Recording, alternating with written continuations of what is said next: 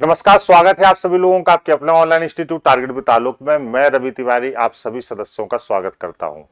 हम लोगों को इंतज़ार है कि जो इतनी मेहनत की गई है, उसका प्रथम परिणाम अब आपके सामने आने वाला है और हम सभी लोग इस प्रथम परिणाम का इंतज़ार कर रहे हैं। कुछ ही देर में आपके पास प्रश्न आने प्रारंभ हो जाएँगे और आप देखेंगे कि कैसे प्रश्न आपके पेपर में आए हैं और हम सभी लोग मिलकर इन प्रश्नों को हल करेंगे। हमारी पहली प्रायोरिटी ये रहेगी कि हम जल्दी से सभी प्रश्नों के उत्तर आपको दे सकें, हम प्रश्नों को दिखा सकें, एक एनालिसिस हम आपके सामने प्रश्नों का कर सकें, जिससे कि जिन बच्चों का पेपर कल है या अगली मीटिंग में है, या कल शाम की मीटिंग में, वो त्वरित तरीके से पहले ये देख लें कि पेपर का पैटर्न क्या रहा है, क्योंकि 2018 का पेपर था और हम सभी जानते हैं कि जो रीजनिंग की जो चीज़ें हैं, वो रीजनिंग की चीज़ें अलग अलग हैं। ठीक है ना? अलग अलग तरीके से आपसे पूछी जाएँगी, वही पैटर्न पूछा जाएगा, हिंदी में क्या पूछा जाएगा, जीएस में क्या पूछा जाएगा, करेंट में क्या पूछा जाएगा तो ये सब आपको आना है। तो जितने भी लोग अगर एग्ज़ाम से निकल रहे हैं, वह अपने साथियों का मार्गदर्शन करना शुरू करें कि कैसा आपका पेपर आया है, बल्कि अगले दो से तीन मिनट में यह टीम पूरी आप लोगों को बता देगी कि पेपर कैसा आया है और किस प्रकार के प्रश्न आपको मिले हैं। ठीक है? तो हम सभी लोग बहुत जल्दी, जो लोग पेपर दे के निकल रहे हैं, मेरा उनसे अनुरोध है कि अगर वो यूट्यूब देख रहे हैं, अभी तो खैर उन्होंने मोबाइल अपना नहीं खोला होगा, लेकिन फिर भी अगर वो यूट्यूब देख रहे हैं तो वो ज़रूर ये बताएँ कि पेपर कैसा आया है और क्या स्थिति आपकी हुई है। चलिए, बाकी आप बताइए कि शाम वाली मीटिंग वाले जो सदस्य हैं, जिनका पेपर शाम को मिला है, वो सब अपने सेंटर पर पहुँच चुके हैं? क्या शाम वाली मीटिंग के सभी सदस्य अपने सेंटर पर अच्छे से पहुँच गए हैं आप लोग? कोई इसमें समस्या तो नहीं है? बताइए। डरने की बात नहीं बेटा। बिल्कुल मत डरिए। देखिए, मैंने कल भी बताया था कि परिणाम का भय अगर आपको होगा तो चीज़ें बेहतर नहीं होंगी। अपने आप को बिल्कुल रिलैक्स कर लीजिए। परीक्षा है, ये भी जीवन की एक कसौटी है। हमें अपने जीवन में बहुत सारी कसौटियों से गुजरना होता है। परीक्षा भी उनका एक हिस्सा है, इसलिए बिल्कुल इस चीज़ से परेशान मत होइए। अपने माता पिता का मनन करते हुए बहुत बढ़िया तरीके से आप आगे बढ़िए और उनकी छवि को अपने मन में रखिए। माता पिता साक्षात ईश्वर की तरह हैं। बल्कि हम लोगों ने जितना पढ़ा है, अभी आप अपने भाइयों के कमेंट देखिएगा, बहनों के कमेंट देखिएगा, है ना? जितना आपने पढ़ा है, आप देखिएगा, उसमें से ही सब कुछ आना है। क्योंकि इतनी मेहनत की गई है कि कोई ऐसी चीज़ बचने ही नहीं दी गई है। तो बिल्कुल भी इन चीज़ों को आप लेके परेशान मत होइए, चीज़ों को लेके एकदम मतलब ऐसे मत सोचिए। अच्छे से आप करिए, ठीक है? और जिन लोगों के पेपर हो गए हैं, अगर वो बाहर निकले हैं तो पहली प्रतिक्रिया अपना देना शुरू करें। पहले, सबसे पहले बताएँ कि कैसे आपके पेपर हुए हैं, ठीक है? हाँ। चलिए, मेरा अभी है शाम को। पेपर बहुत आसान था, सर। ये पहला कमेंट आया। आपको देखकर भावुक हो जाता हूँ। भावुक मत होइए, मैं आपका बड़ा भाई हूँ और जीवन पर्यंत आपके साथ रहूँगा। भावुक मत होइए। मैं एग्ज़ाम सेंटर पर पहुँच चुका हूँ, मेरा शाम को है। आप सभी बच्चों को, जिनका शाम को पेपर, आप सभी को मेरी तरफ़ से ढेरों शुभकामनाएँ। 126 अटेम्प्ट किए हैं, पेपर, मॉडरेट लेवल, बहुत बढ़िया। 126 अटेम्प्ट किए हैं, मॉडरेट लेवल पेपर है, ये पहला आया है, पहली चीज़ें आई हैं। पेपर एकदम हलुआ था। Current affairs, Ravi Tiwari sir, जिंदाबाद। चलिए, हमें लगता है कि चीज़ें ठीक मिली हैं आपको, जिस तरीके से आप लोग बोल रहे हैं। पेपर सही था। तो पहली प्रतिक्रिया जो हम लोगों को देखने को मिल रही है, आप सभी लोग ये मान लीजिए, उसमें पहली प्रतिक्रिया में साफ़ साफ़ दिख रहा है कि पेपर आपका ठीक आया है। ठीक है? अब मैं प्रश्नों को आपके सामने देना शुरू कर रहा हूँ। मैं कुछ प्रश्नों को तुरंत आपके सामने देता हूँ। क्योंकि बच्चों को निकलने में समय लग जाता है, और अभी लोग निकल ही रहे होंगे, हमारी टीम लगातार काम कर रही है, और मैं जल्द ही जो है 132 अटेम्प्ट 116 अटेम्प्ट 133 जीएस बहुत टफ था। अच्छा ठीक है। हाँ।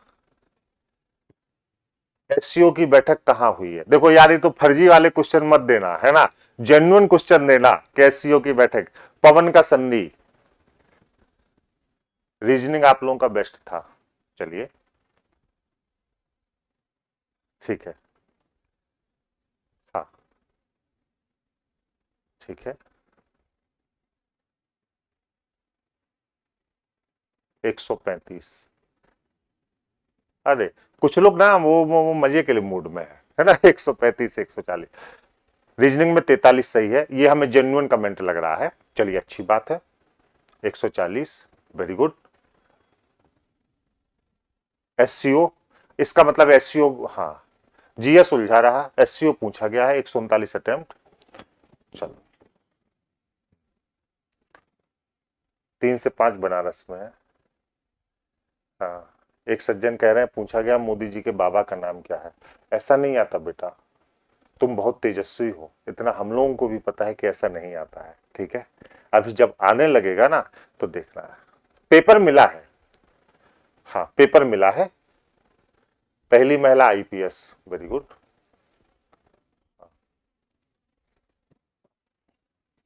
बस, ये टीम जल्दी ही आपको पेपर जो है शुरू करेगी। देना। हम्म। पेपर मेरे पास आ चुका है। मैं कुछ क्वेश्चन अब आपके सामने शेयर करना शुरू करता हूँ। चलिए।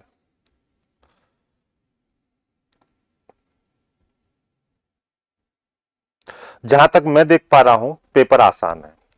पहला क्वेश्चन आपका डाइस का है। चौवनवा क्वेश्चन जो है वो डाइस से पूछा गया है, बहुत नॉर्मल क्वेश्चन है। पेपर कटिंग एंड फोल्डिंग से भी क्वेश्चन पूछा गया है तिरपनवा। बैन डायग्राम आपका बावनवा क्वेश्चन है फिफ्टी टू वाला, बहुत आसान है। मैं कुछ आपके पेपर्स बताता हूँ। कितने त्रिभुज हैं? हु वही आकृति आई है जो हमने आपको कराई थी, कितने त्रिभुज हैं? बिल्कुल वही आई है, ठीक है? हु वही आकृति।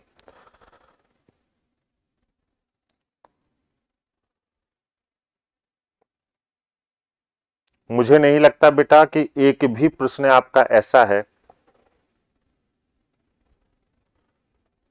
जो हम लोगों ने आपको नहीं कराया हो। खुद ही देख लीजिए, आप समझ जाएँगे। सारे प्रश्न, पाँच बजकर बीस मिनट पर घंटे और मिनट की सुई के बीच का कोण ज्ञात करें। बताइए, ऐसा प्रश्न आया है पाँच बजकर बीस मिनट पर घंटे और मिनट की सुई के बीच का कोण ज्ञात करें। अब ये प्रश्न आया है, सोचो, है ना? तो आप समझ सकते हैं। पाँच दिसंबर पाँच दिसंबर उन्नीस को, है ना? सात दिसंबर 1941 को कौन सा दिन होगा? मज़ा आ गया। हाँ सात दिसंबर 1941 को कौन सा दिन होगा? ये भी पूछा गया है। फिर आपसे ये भी पूछा गया है कि 5 दिसंबर उन्नीस सौ तिरानवे को निर्मला और राजू ने रविवार को अपनी वर्षगांठ मनाई। 5 दिसंबर उन्नीस सौ तिरानवे को रविवार को निर्मला और राजू ने अपनी वर्षगांठ मनाई। तो फिर आपसे पूछा गया है, उन्नीस सौ सत्तानवे में 1997 में उनकी वर्षगांठ किस दिन होगी? काल्पनिक तिथियाँ, जो मैंने आपको बताया था, ये भी आपसे पूछा गया है। काल्पनिक तिथियाँ भी पूछा गया है, ठीक है? हाँ बाकी जो है, बहुत आसान पेपर है। रीजनिंग का पेपर बहुत कठिन नहीं है बेटा। तीन साल पहले पति पत्नी और उनके बच्चे की उम्र 27 वर्ष थी। पाँच वर्ष पहले पत्नी और बच्चे की औसत उम्र 20 वर्ष थी। पति की वर्तमान आयु क्या है? ठीक है? बिल्कुल आसान है। हवाई जहाज़ एबीसीडी पूर्व की ओर उड़ान भरते हैं। 125 किलोमीटर डायरेक्शन भी आसान है। पेपर कटिंग एंड फोल्डिंग भी आसान है। फिगर काउंटिंग बहुत ही आसान पूछा गया है बेटा। ठीक है? कोडिंग डिकोडिंग भी आसान है। सन्निहित आकृति भी आपसे पूछी गई है। हमें लगता है हु वही आकृति पूछी गई है जो हम लोगों ने हल की है, सन्निहित आकृतियाँ। मैं टीम से कहूँगा कि कोई टीम जो है, टीम का सदस्य आके इस पेपर को जो है थोड़ा सा बोर्ड पर लगा दे तो मैं बच्चों को दिखा सकूँ पेपर। फिर सॉल्यूशन दे दूँगा।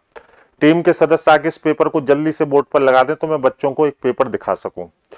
एक सीक्वेंस दिया गया है जिसमें लिखा गया है इसके ठीक ऐसे प्रत्येक आठ को गिने जिनके ठीक पहले छह नहीं है, लेकिन मैं एक चीज़ की गारंटी ले रहा हूँ, बेटा, कि अगर आपने अच्छे से उतनी रीजनिंग पढ़ी है जितनी मैंने आपको बताई है तो आप विश्वास मानिए, आप 45 प्लस हैं। मैं पूरे दावे से कह सकता हूँ, किसी को कोई डाउट नहीं होगा। मैं दो मिनट बाद इसको हल कराना शुरू कर रहा हूँ। आप इसको लाइक करते चलिए। चलिए, मैं कुछ करेंट और जीएस के क्वेश्चन भी आपको बता दूँ। हाँ। मैं कुछ हिंदी से शुरुआत है। ठीक है हाँ। गारो और खासी किस राज्य की सहयोगी राज्य भाषाएँ हैं? निम्नलिखित में कौन सा पहला और सबसे बड़ा निक्षेपागार है जो वर्तमान में भारत में कार्यरत है? भारतीय संविधान की किस अनुसूची में पंचायतों की शक्तियों का वर्णन किया गया है? हाँ।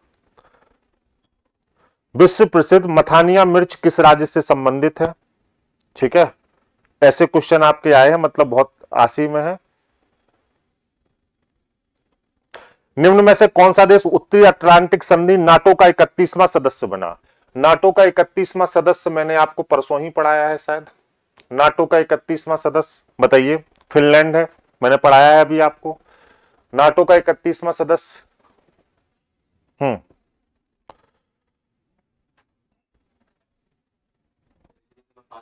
ठीक ठीक, आप पेपर लगवा दीजिए थोड़ा। हाँ। नाटो का इकतीसवां सदस्य आपसे पूछा गया है। और अजय बंगा किस संस्थान के चौदहवें अध्यक्ष नियुक्त किए गए हैं? विश्व बैंक के। मैंने अभी कुछ दिन पहले बताया था अजय बंगा के बारे में कि अजय बंगा को विश्व बैंक का अध्यक्ष नियुक्त किया गया है। याद आ रहा है आपको? भूपेन हज़ार का सेतु, ढोला सदिया पुल कहा जाता है। किस नदी पर है? तो ये असम में है। भूपेन हज़ार का जो असम के पूर्व गीतकार थे, भारतीय और असम के, उनके नाम पर ही मिला है। भूपेन हज़ार का को बहुत अवार्ड भी मिला था। हाँ अब पेपर आपके सामने है, ठीक है हिंदी से पेपर शुरू है, अभी अमृत सर आपको बताएँगे, तब तक मैं कुछ प्रश्न आपको दिखा देता हूँ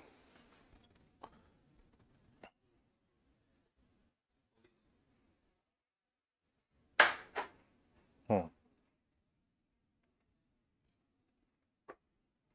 ऑपरेशन सद्भावना पूछा गया है उत्तर प्रदेश सरकार ने खेलो इंडिया योजना के तहत जिलों के जिलेवार खेल को ओडीएस एक जिला एक खेल में शामिल करने के लिए केंद्र सरकार की सहमति ली। ठीक है? तो ये भी पूछा गया है, खेलो इंडिया यूथ गेम्स भी पूछा गया है।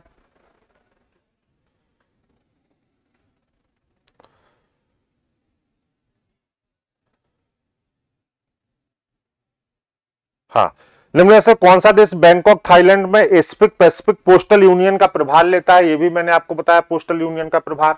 ठीक है? चलो हाँ। लाफिंग गैस क्या है? शरीर की सबसे छोटी हड्डी कौन सी होती है? विश्व का सबसे बड़ा नदी द्वीप कहाँ पर स्थित है? मिसमी जनजाति भारत के निम्नलिखित में से किस राज्य की निवासी है? मिसमी, चार पाँच दिन पहले ही मैंने आपको बताया था। पीएम मोदी जी ने किस राज्य में जल जन अभियान का वर्चुअल उद्घाटन किया?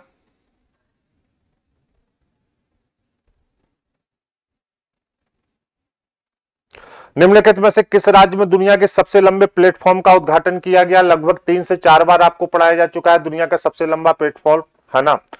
दुनिया का सबसे लंबा प्लेटफॉर्म हुबली, कर्नाटक। अभी मैंने तीन से चार बार आपको पढ़ाया है। तो बताओ सबको मिल गया? हाँ। उत्तर प्रदेश के किस ज़िले में बालिकाओं को उनके जीवन के विभिन्न चरणों में सशक्त रोकड़ हस्ताक्षर प्रदान करने हेतु मुख्यमंत्री कन्या सुमंगला योजना शुरू की गई? मुख्यमंत्री कन्या सुमंगना योजना भी मैंने आपको बताई है।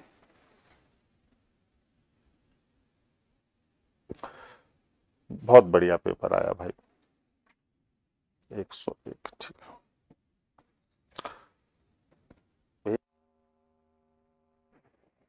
चलिए, अब हम लोग शुरू करते हैं पेपर को। चलिए, मैं कुछ हिंदी से आगे बढ़ के शुरू करता हूँ आपको पेपर के लिए। हम्म। देखो, ये अब इतना आसान क्वेश्चन अगर पेपर कटिंग एंड फोल्डिंग में आएगा तो क्या आप नहीं लगा पाएँगे? बताओ। दो फोल्डिंग है है ना? पहली फोल्डिंग इस तरफ़ है और दूसरी फोल्डिंग इस तरफ़ है। मतलब ये शून्य इस तरफ़ जाएगा और ये शून्य इस तरफ़ जाएगा। बताओ कौन सा उत्तर होगा? दो ही फोल्डिंग है, बाकी कोई फोल्डिंग नहीं है। जल्दी से बताओ। ठीक है? हाँ। ये देखो, इतना आसान क्वेश्चन आपने इससे बहुत कठिन कठिन क्वेश्चन किए हैं। ठीक है? ये देखो आपको डाइस आया है, ऐसा डाइस शायद हम लोगों ने परसों किया है। ठीक है? उत्तर आकृति आपको बताना है कि कैसे है।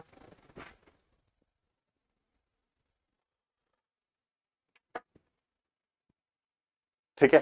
ये देखो। जैसे आप लोग बहुत कठिन कठिन आप लोग आर्गुमेंट कर रहे थे, क्या लिखा है? क्या किस्तों पर चीज़ें? ये क्या है भाई?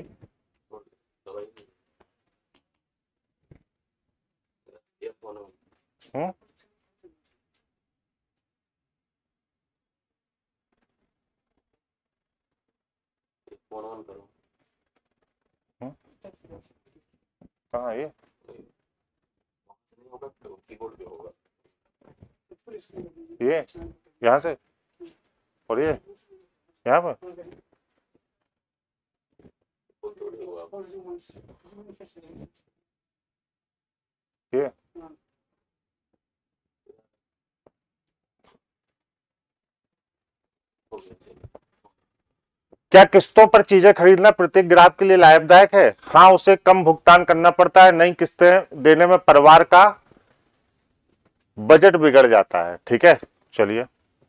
देख रहे हैं, कितना आसान आया है। आइए। ये डाइस हल किए आप लोग। जल्दी से हल करिए तब तक इसको। हम सीक्वेंस में आ रहे हैं, तब तक आपको बता रहे हैं। हम अभी सिक्वेंस में पूरा हल कराएँगे, तब तक हम पेपर आपको दिखा रहे हैं। इतना आसान बैंड डायग्राम है। देखो, लिखा है। निम्नलिखित बैंड आरेख में अक्षर की पहचान करें जो उन खिलाड़ियों को दर्शाता है जो डॉक्टर भी है, लेकिन कलाकार नहीं। डॉक्टर भी है, खिलाड़ी भी है, लेकिन कलाकार नहीं है। जल्दी से उत्तर कर दो। क्या पूछा गया है? डॉक्टर भी है, लेकिन कलाकार नहीं। खिलाड़ी है, डॉक्टर है, लेकिन कलाकार नहीं है। ठीक है? खिलाड़ी है, डॉक्टर है, लेकिन कलाकार नहीं है। बताइए क्या होगा?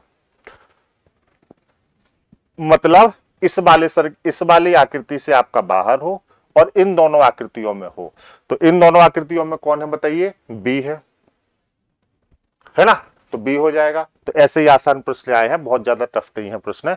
रीजनिंग में जो लोग जा रहे हैं, इस आकृति में कितने त्रिभुज होंगे? बताइए, कितनी बार हम लोगों ने सवाल किया है कि इस आकृति में कितने त्रिभुज हैं? बताओ। बोलो। ठीक है ना? कितनी बार बेटा आप लोगों ने सवाल किया है किस आकृति में? सचिन राहुल से छह साल छोटा है। यदि उनकी आयु का अनुपात सात, अनुपात नौ हो तो सचिन की आयु ज्ञात कीजिए, बताइए। सचिन की आयु ज्ञात कीजिए। हाँ।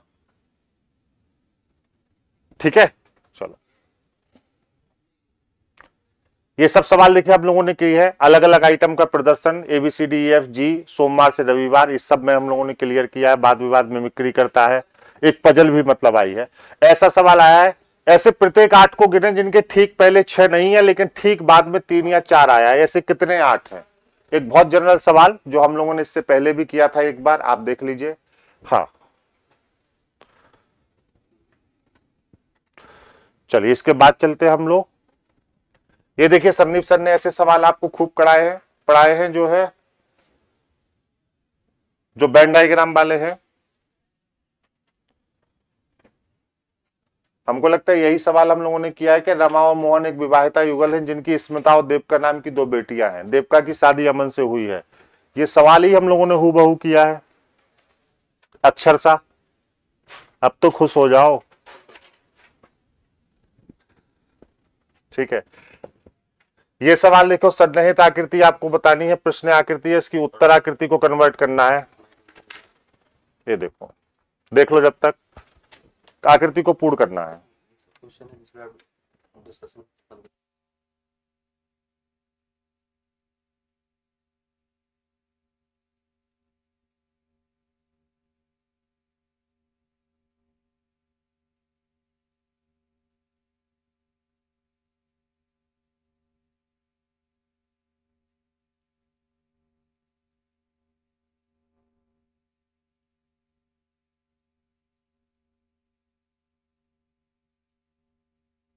तो अब देखो, इसको आराम से आप लोग पूर्ण कर सकते हैं, इसमें कोई दिक्कत नहीं है।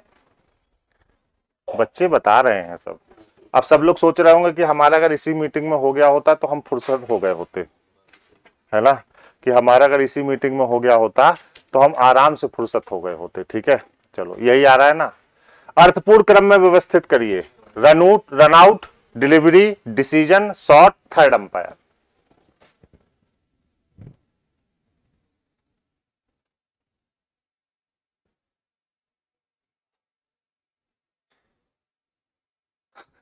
अब लोग सोच रहे होगे, सर, हमारा टफ आएगा। ठीक है? ये तो बहुत सही आ गया। ये देखिए, सन्निहित आकृति को खोजना है है ना? नॉन वर्बल में भी हम लोगों ने, बेटा, जितना किया था, लगभग वो सब आ गया नॉन वर्बल में। देखो, सन्निहित आकृति को यहाँ पे आपको खोजना है है ना? ये देखो, कि आकृति कहाँ पर है है ना? उत्तर आकृति या कौन सी आकृति इसमें सन्निहित है? बताओ। ये आपको खोज लेना है यहाँ पर।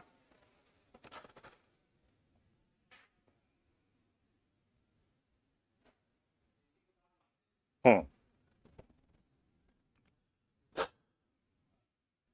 बहुत आसान पूछा गया। चार सदस्यों पी क्यू आर एस वाले एक परिवार के बारे में कुछ जानकारी। पी एक व्यस्क पुरुष है, उसके दो बच्चे क्यू पी का दमान है।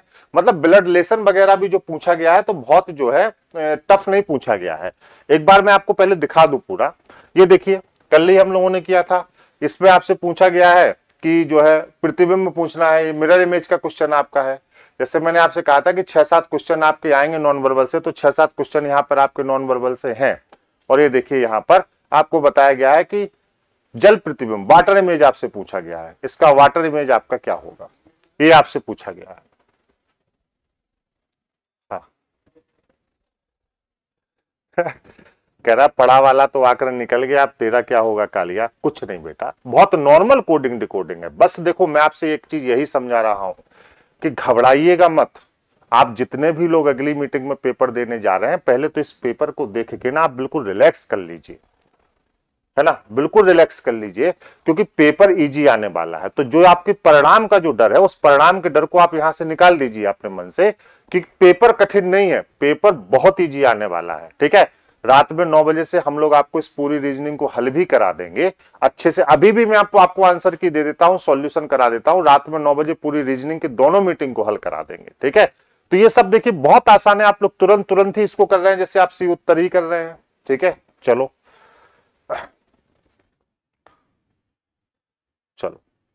दीवार घड़ी 12 घंटे में दो मिनट आगे बढ़ जाती है, जबकि टेबल घड़ी 36 घंटे में दो मिनट पीछे हो जाती है। दोनों मंगलवार को दोपहर 12 बजे ठीक सेट की गई, अगली बार दोनों एक ही समय कब दिखाएँगे, ठीक है? चलो, और सुनो, ये तो कुछ भी नहीं है। आप देखो, जो प्रचंड सरल होता है, वो क्या होता है बेटा, वो दिखाता हूँ तुमको। पाँच बजकर बीस मिनट पर घंटे और मिनट की सुइयों के बीच का कोण ज्ञात करिए। बोलो। पाँच बजकर बीस मिनट पर घंटे और मिनट की सुइयों का कोण ज्ञात करिए। देखिए, अब एक भी अतिरिक्त जानकारी का प्रश्न इस बार नहीं आया है, जो आप लोग कह रहे थे। पाँच बजकर बीस मिनट पर कोण ज्ञात करना है तो अब ये तो नहीं बताने की ज़रूरत है ना। क्लियर है? Minutes by two, approx six into minutes. आप लोग हमसे पहले उत्तर कर देंगे। चलो, सात दिसंबर 1941 को कौन सा दिन था? सात है, दिसंबर का कोड छह हो गया। एयर कितने हो गए? इकतालीस। लीप ईयर कितना हो गया? दस। और सेंचुरी कोड कितना हो गया? ज़ीरो बटे कितना हो गया? सात हो गया। ठीक है? सात से सात कट गया, इकतालीस. सत पन्ना पैंतीस कितना बचा? छह. दस और बारह कितना हो गया बताओ? बाईस. सात इक्कीस, एक बचा। कौन सा दिन होगा बताओ? कौन सा दिन होगा? रविवार हो जाएगा? संडे हो जाएगा ना? हाँ। सात छ तेरह छ आप इकतालीस सात पन्ना पैंतीस, छह बचा, यहाँ से आपका तीन बच जाएगा, छह छह, बारह, तीन, पंद्रह, सात दूनी चौदह, एक रविवार। ठीक है ना? हाँ। कल वाले भी मस्त रहे, कोई दिक्कत वाली बात नहीं है, कल वाले भी क्लियर हो जाएगा, और अभी हम लोग आपको फिर हल भी करा रहे हैं, बहुत आसान आया है। अक्षर समूह के चार जोड़ दिए गए हैं, एक भिन्न है। आपको बताना है कौन सा भिन्न है, बताओ, कैसे निकालोगे? अक्षर समूह के चार जोड़े दिए गए हैं एक भिन्न है। कौन सा भिन्न है बताओ? हम्म।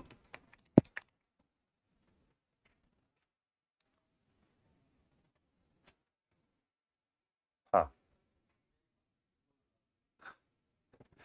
बिल्कुल रिलैक्स हो जाइए यही पैटर्न आपका भी आएगा। तो इस इस मीटिंग वाले बिल्कुल रिलैक्स रहे अगली मीटिंग वाले बिल्कुल रिलैक्स रहे। हाँ आइए। आइए आइए।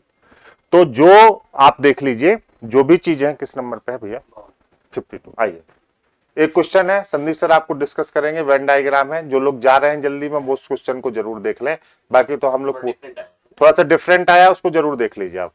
सर का कहना है कि थोड़ा सा डिफरेंट है। ये आपका जो है वेन डायग्राम है भैया आइए। इसको थोड़ा सा वो आपको जब बता देंगे तो चीज़ें बेहतर हो जाएँगी। देखिए तब तक तब तक मैं और पेपर लेके देखो बेन डायग्राम बेन डायग्राम का क्वेश्चन तो आएगा ही, हर सेट में आएगा। ये जो पैटर्न आया है, थोड़ा सा ए डिफरेंट है नेचर में। मैं चाहता हूँ कि आप लोग इस बेन डायग्राम को अच्छे से देख लें। और किसका उत्तर क्या आया है, अगर आप कमेंट कर सके तो बहुत अच्छी बात है। बाकी मैं कोशिश करता हूँ कि आपको क्लियर हो जाए। ठीक है? कि आपका उत्तर क्या आया है? बावन क्वेश्चन था एक बेन डायग्राम का। और देखिए, ध्यान से क्या होगा इसका आंसर क्वेश्चन अगर पढ़ेंगे तो लिखा है स्कूल में 120 छात्रों में पाँच परसेंट तीनों खेल क्रिकेट, शतरंज और कैरम खेलते हैं।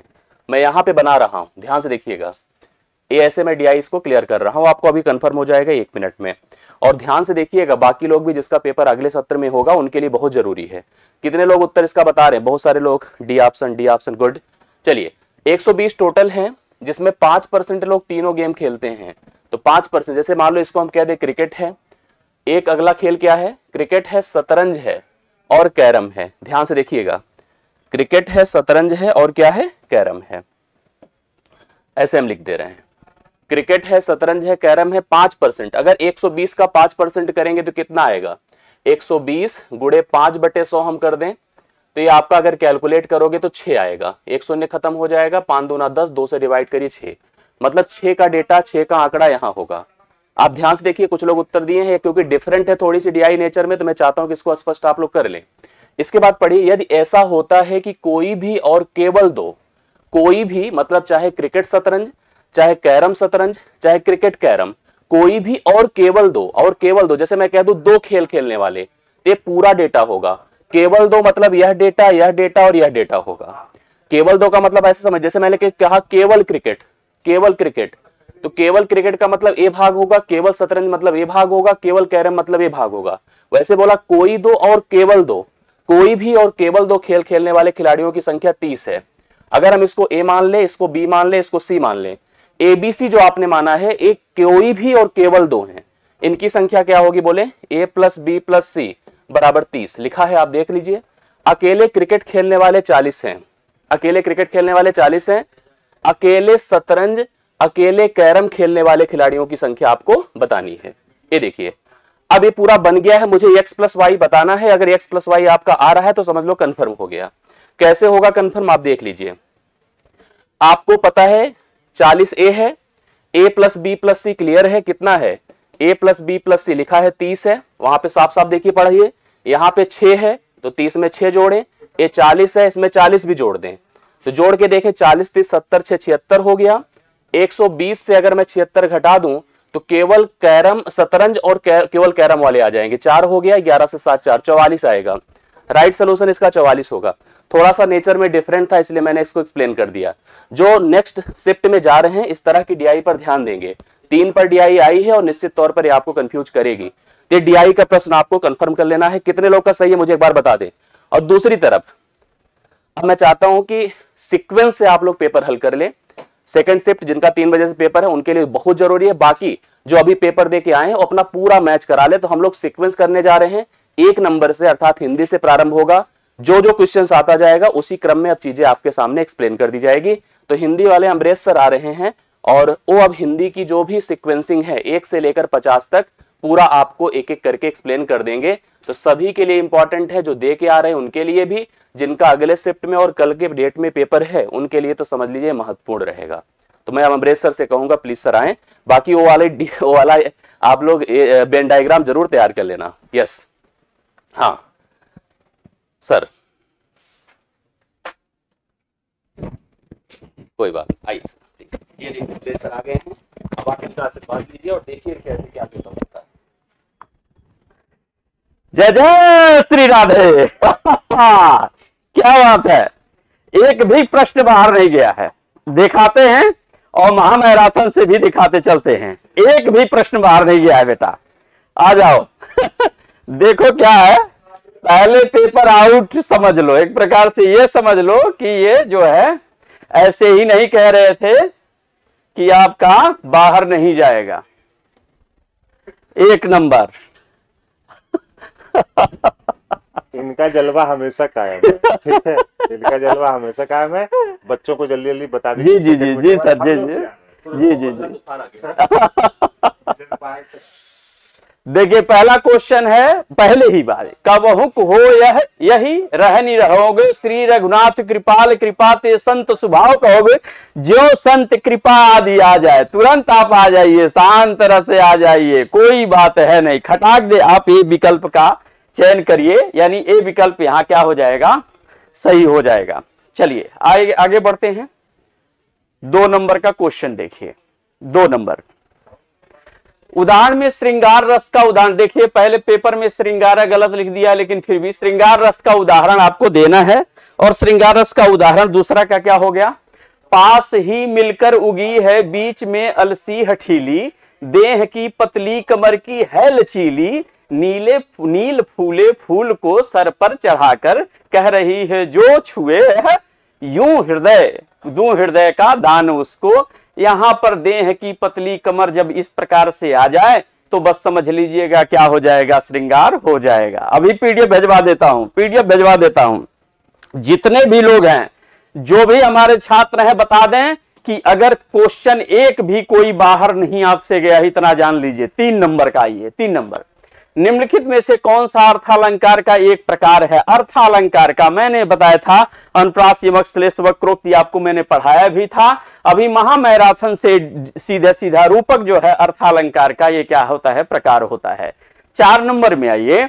निम्नलिखित में से मौन और संपन्न शब्दों के क्रमशः सही विलोम बताइए। तो मौन का क्या होता है? मुखर होता है और संपन्न का क्या होता है? विपन्न होता है। अतः चार का उत्तर क्या हो जाएगा? यह सी विकल्प सही हो जाएगा। चार का उत्तर बेटा, सी विकल्प सही हो जाएगा। आप लोग जिसका जो हो, वह अपना अपना देख लेगा। वह अपना अपना देख लेगा। यहाँ पाँच नंबर देखे किस वाक्यांश के लिए प्रयुक्त शब्द सार्थक है? आपको ये बताना है, किस वाक्यांश के लिए प्रयुक्त शब्द क्या है? सार्थक है। यहाँ पे जो बिना वेतन काम करता है, उसे वैतनिक कहते हैं। क्षण में नष्ट होने वाला क्षतिपूर्ति नहीं होता है। जिसमें सबकी संपत्ति सर्वज्ञ नहीं होता, व्याकरण को जानने वाला वीर प्रशु नहीं होता है व्याकरण होता है। प्रत्युत्पन्नमति शब्द के लिए क्या होता है? जो तत्काल, यानी तुरंत उत्तर देता हो, उसे हम प्रत्युत्पन्नमत कहते हैं। तो छह का उत्तर क्या होगा? जिसकी उत्तर, जिसकी बुद्धि में तुरंत नई सूझ उत्पन्न हो जाए, उसे हम प्रत्युत्पन्नमति कहते हैं। ठीक है? यहाँ सात का उत्तर क्या हो गया? बी विकल्प आपका सही होगा। मैं एकदम समय नहीं लूँगा, आपका फटाक दे बताता हूँ। सबसे शुद्ध, सबसे प्रमाणिक, एक भी प्रश्न आपका गलत नहीं होगा। निम्नलिखित में से कौन सी वर्तनी शुद्ध है? यहाँ पे आशीर्वाद मुझे लगता है कि जाते जाते भी मैंने महामैराथन मेरा देख लीजिएगा, और जो लोग छात्र जाने वाले हैं, वो भी पुनः महामैराथन दोनों देख लीजिएगा। निम्नलिखित में से कौन सा विकल्प में पर्यवाची युग्म सही नहीं है? पूछा है, सही नहीं है। यहाँ पे देखिए, फड़ी उरग होता है, पुरंदर मरपथ होता है, सरोवर पुष्कर होता है जलद अम्बुद ये सीधा सीधा महामैराथन का क्वेश्चन है। सीधा सीधा आपको आ गया है। जलधि मतलब समुद्र अम्बुद मतलब बादल होता है। यानी आठ नंबर का उत्तर क्या हो गया आपका? डी विकल्प सही हो गया। नौ नंबर के उत्तर में आइए। नौ का देखिए, निम्नलिखित में से तत्सम शब्द कौन सा है?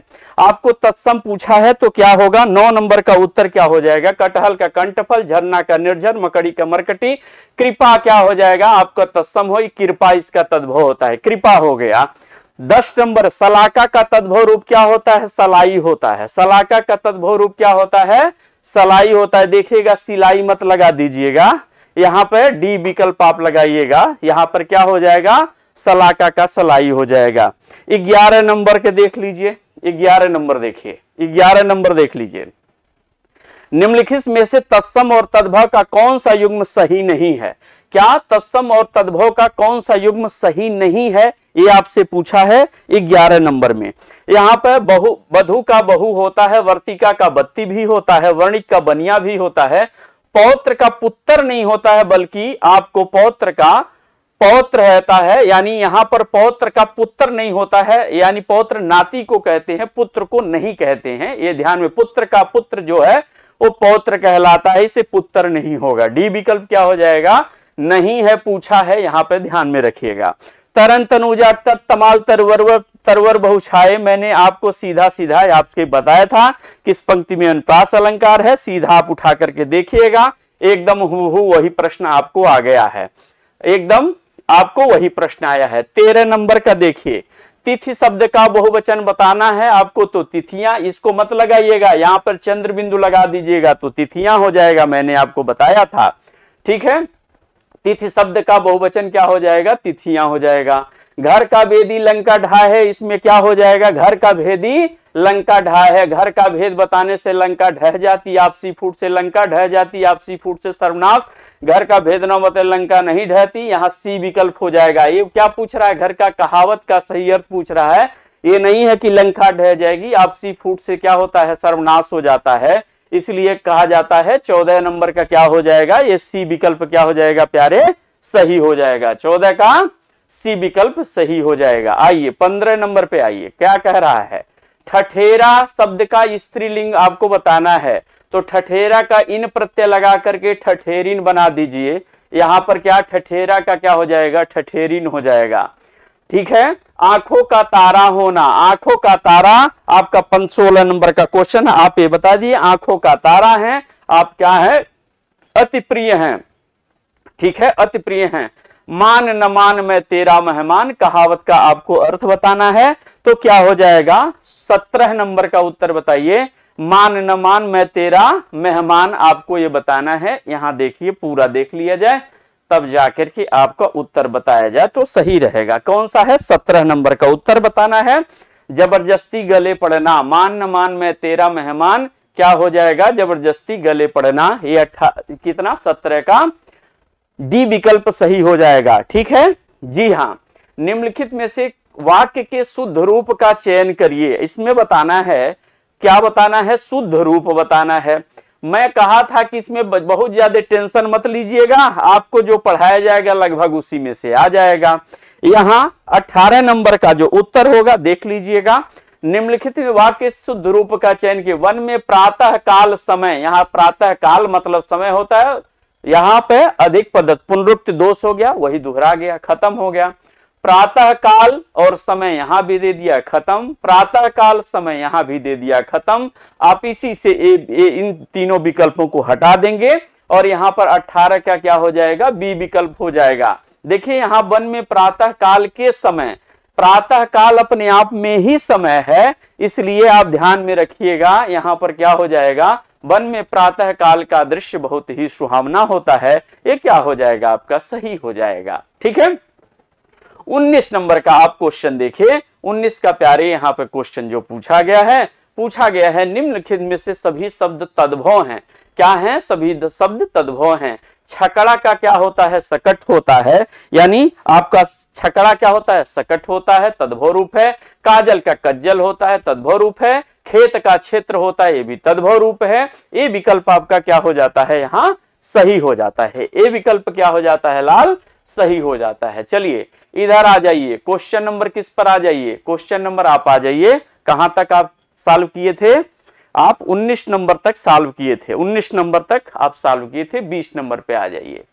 20 को देख लिया जाए। इनकी क्या गति है?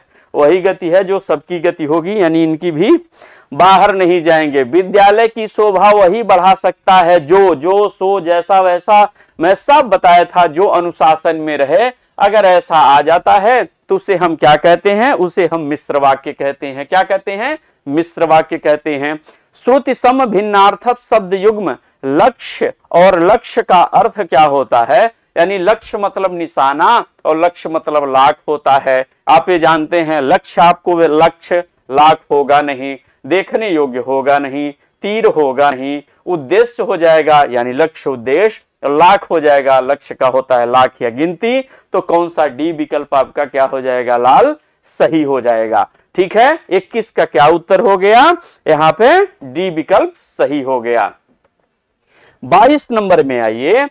किस विकल्प के शब्द युग्म का अर्थ भेद सही नहीं है? आपको यह बताना है, किस विकल्प अर्थ भेद सही नहीं है? थोड़ा सा अगर आप ध्यान दिए होगे तो आपका क्वेश्चन इसमें गलत नहीं हुआ नहीं हुआ होगा। यानी 22 का उत्तर आपको बताना है। यहाँ देखिए, अयस मतलब बदनामी, अयस यश मतलब होता है कीर्ति, अयश है तो बदनामी, अयस मतलब लोहा होता है, यानी इसका यह हो गया, इसका यह हो गया, यानी ये तो बात सही है। पूछा है, नहीं है, ये पूछा है। आदि मतलब आरंभ होता है और आदि मतलब अभ्यस्त होता है। आप किसी चीज़ के आदि हो गए हैं, अभ्यस्त हो गए हैं, ये भी सही है। अचल मतलब स्थिर, अंचल मतलब क्षेत्र, जैसे आपको किसी क्षेत्र में उत्तरांचल आदि अंचल में जाते हैं, ये भी सही है। अभिराम का मतलब क्या होता है? अभिराम मतलब होता है, सुंदर होता है। यहाँ स्थिर दे दिया है। अभिराम मतलब लगातार होता है, लेकिन अभिराम का अर्थ स्थिर नहीं होता है। अभिराम मतलब जैसे आप नयनाभिराम कहते हैं, यानी सुंदर लगना अच्छा लगना होता है। इसलिए यहाँ पर क्या हो जाएगा? डी विकल्प आपका क्या हो जाएगा लाल? यहाँ आपका सही हो जाएगा। डी विकल्प क्या हो जाएगा? सही हो जाएगा। ठीक है? चलिए, आगे बढ़े। क्वेश्चन नंबर हम तेईस पे चलते हैं। निम्नलिखित में से कौन सा वाक्य संयुक्त वाक्य का उदाहरण है? किसका? संयुक्त वाक्य का उदाहरण है। ये आपसे पूछा है। तेईस का क्वेश्चन आपसे पूछा है। संयुक्त वाक्य का उदाहरण है। बगीचे में सुंदर फूल खिले हैं। सामान्य, यानी ये सरल वाक्य का उदाहरण है, ये नहीं होगा। यह वही बच्चा है जो कल गिर गया था। यानी इसमें क्या है? जो सो जैसा वैसा अगर आता है तो क्या हो जाएगा आपका? क्या हो जाएगा? यह संयुक्त वाक्य पूछा है तो ये मिश्र वाक्य हो जाएगा, ये भी नहीं होगा। शाम हुई और गाय घर लौट आई। जो परिश्रम करेगा, वही सफल मिलेगा, उसे सफलता मिलेगी। ये भी क्या हो जाएगा? ये भी मिश्र वाक्य हो जाएगा। ये भी मिश्र वाक्य है, ये भी मिश्र वाक्य है, और ये सरल वाक्य या साधारण वाक्य है। तो ये भी नहीं होगा। तो क्या शाम हुई और भोर ढली रे? समय ने ली अंगड़ाई। ए जग सारा प्रीत से हारा, मोहे नींद न आई। शाम हुई, एक सेंटेंस हो गया। किंतु परंतु लेकिन चूँकि ताकि और अथवा या न था इसलिए ये सब क्या हो जाते हैं आपका? ये आपका विकल्प क्या हो जाएगा? संयुक्त वाक्य हो जाएगा। ठीक है? बा तजुर्बा बा इज़्ज़त ठीक है? ये क्या हो जाएगा? शब्द में कौन सा उपसर्ग है? तो बा हो जाएगा बेटा। क्या हो जाएगा? बा हो जाएगा। ठीक है? यहाँ देखिए क्वेश्चन नंबर 25 क्या होता है? निम्नलिखित में से कौन सा वाक्य मिश्र वाक्य है? ये पूछा है। क्या पूछा है?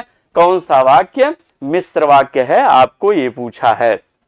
यहाँ देखिए 25 नंबर का उत्तर बताइए कि क्या हो जाएगा? मिश्र वाक्य। मैंने सुना है कि मिश्र, आपके देश में अच्छा राज प्रबंध है। जब की की लग जाएगा आपको तो वहाँ पर क्या हो जाता है? मिश्र वाक्य जैसे मैंने आपको पढ़ाते समय पढ़ाया है कि मैं जानता हूँ कि आप मेरे शिष्य हो। मैंने ऐसे ही आपको बताया है, ठीक है?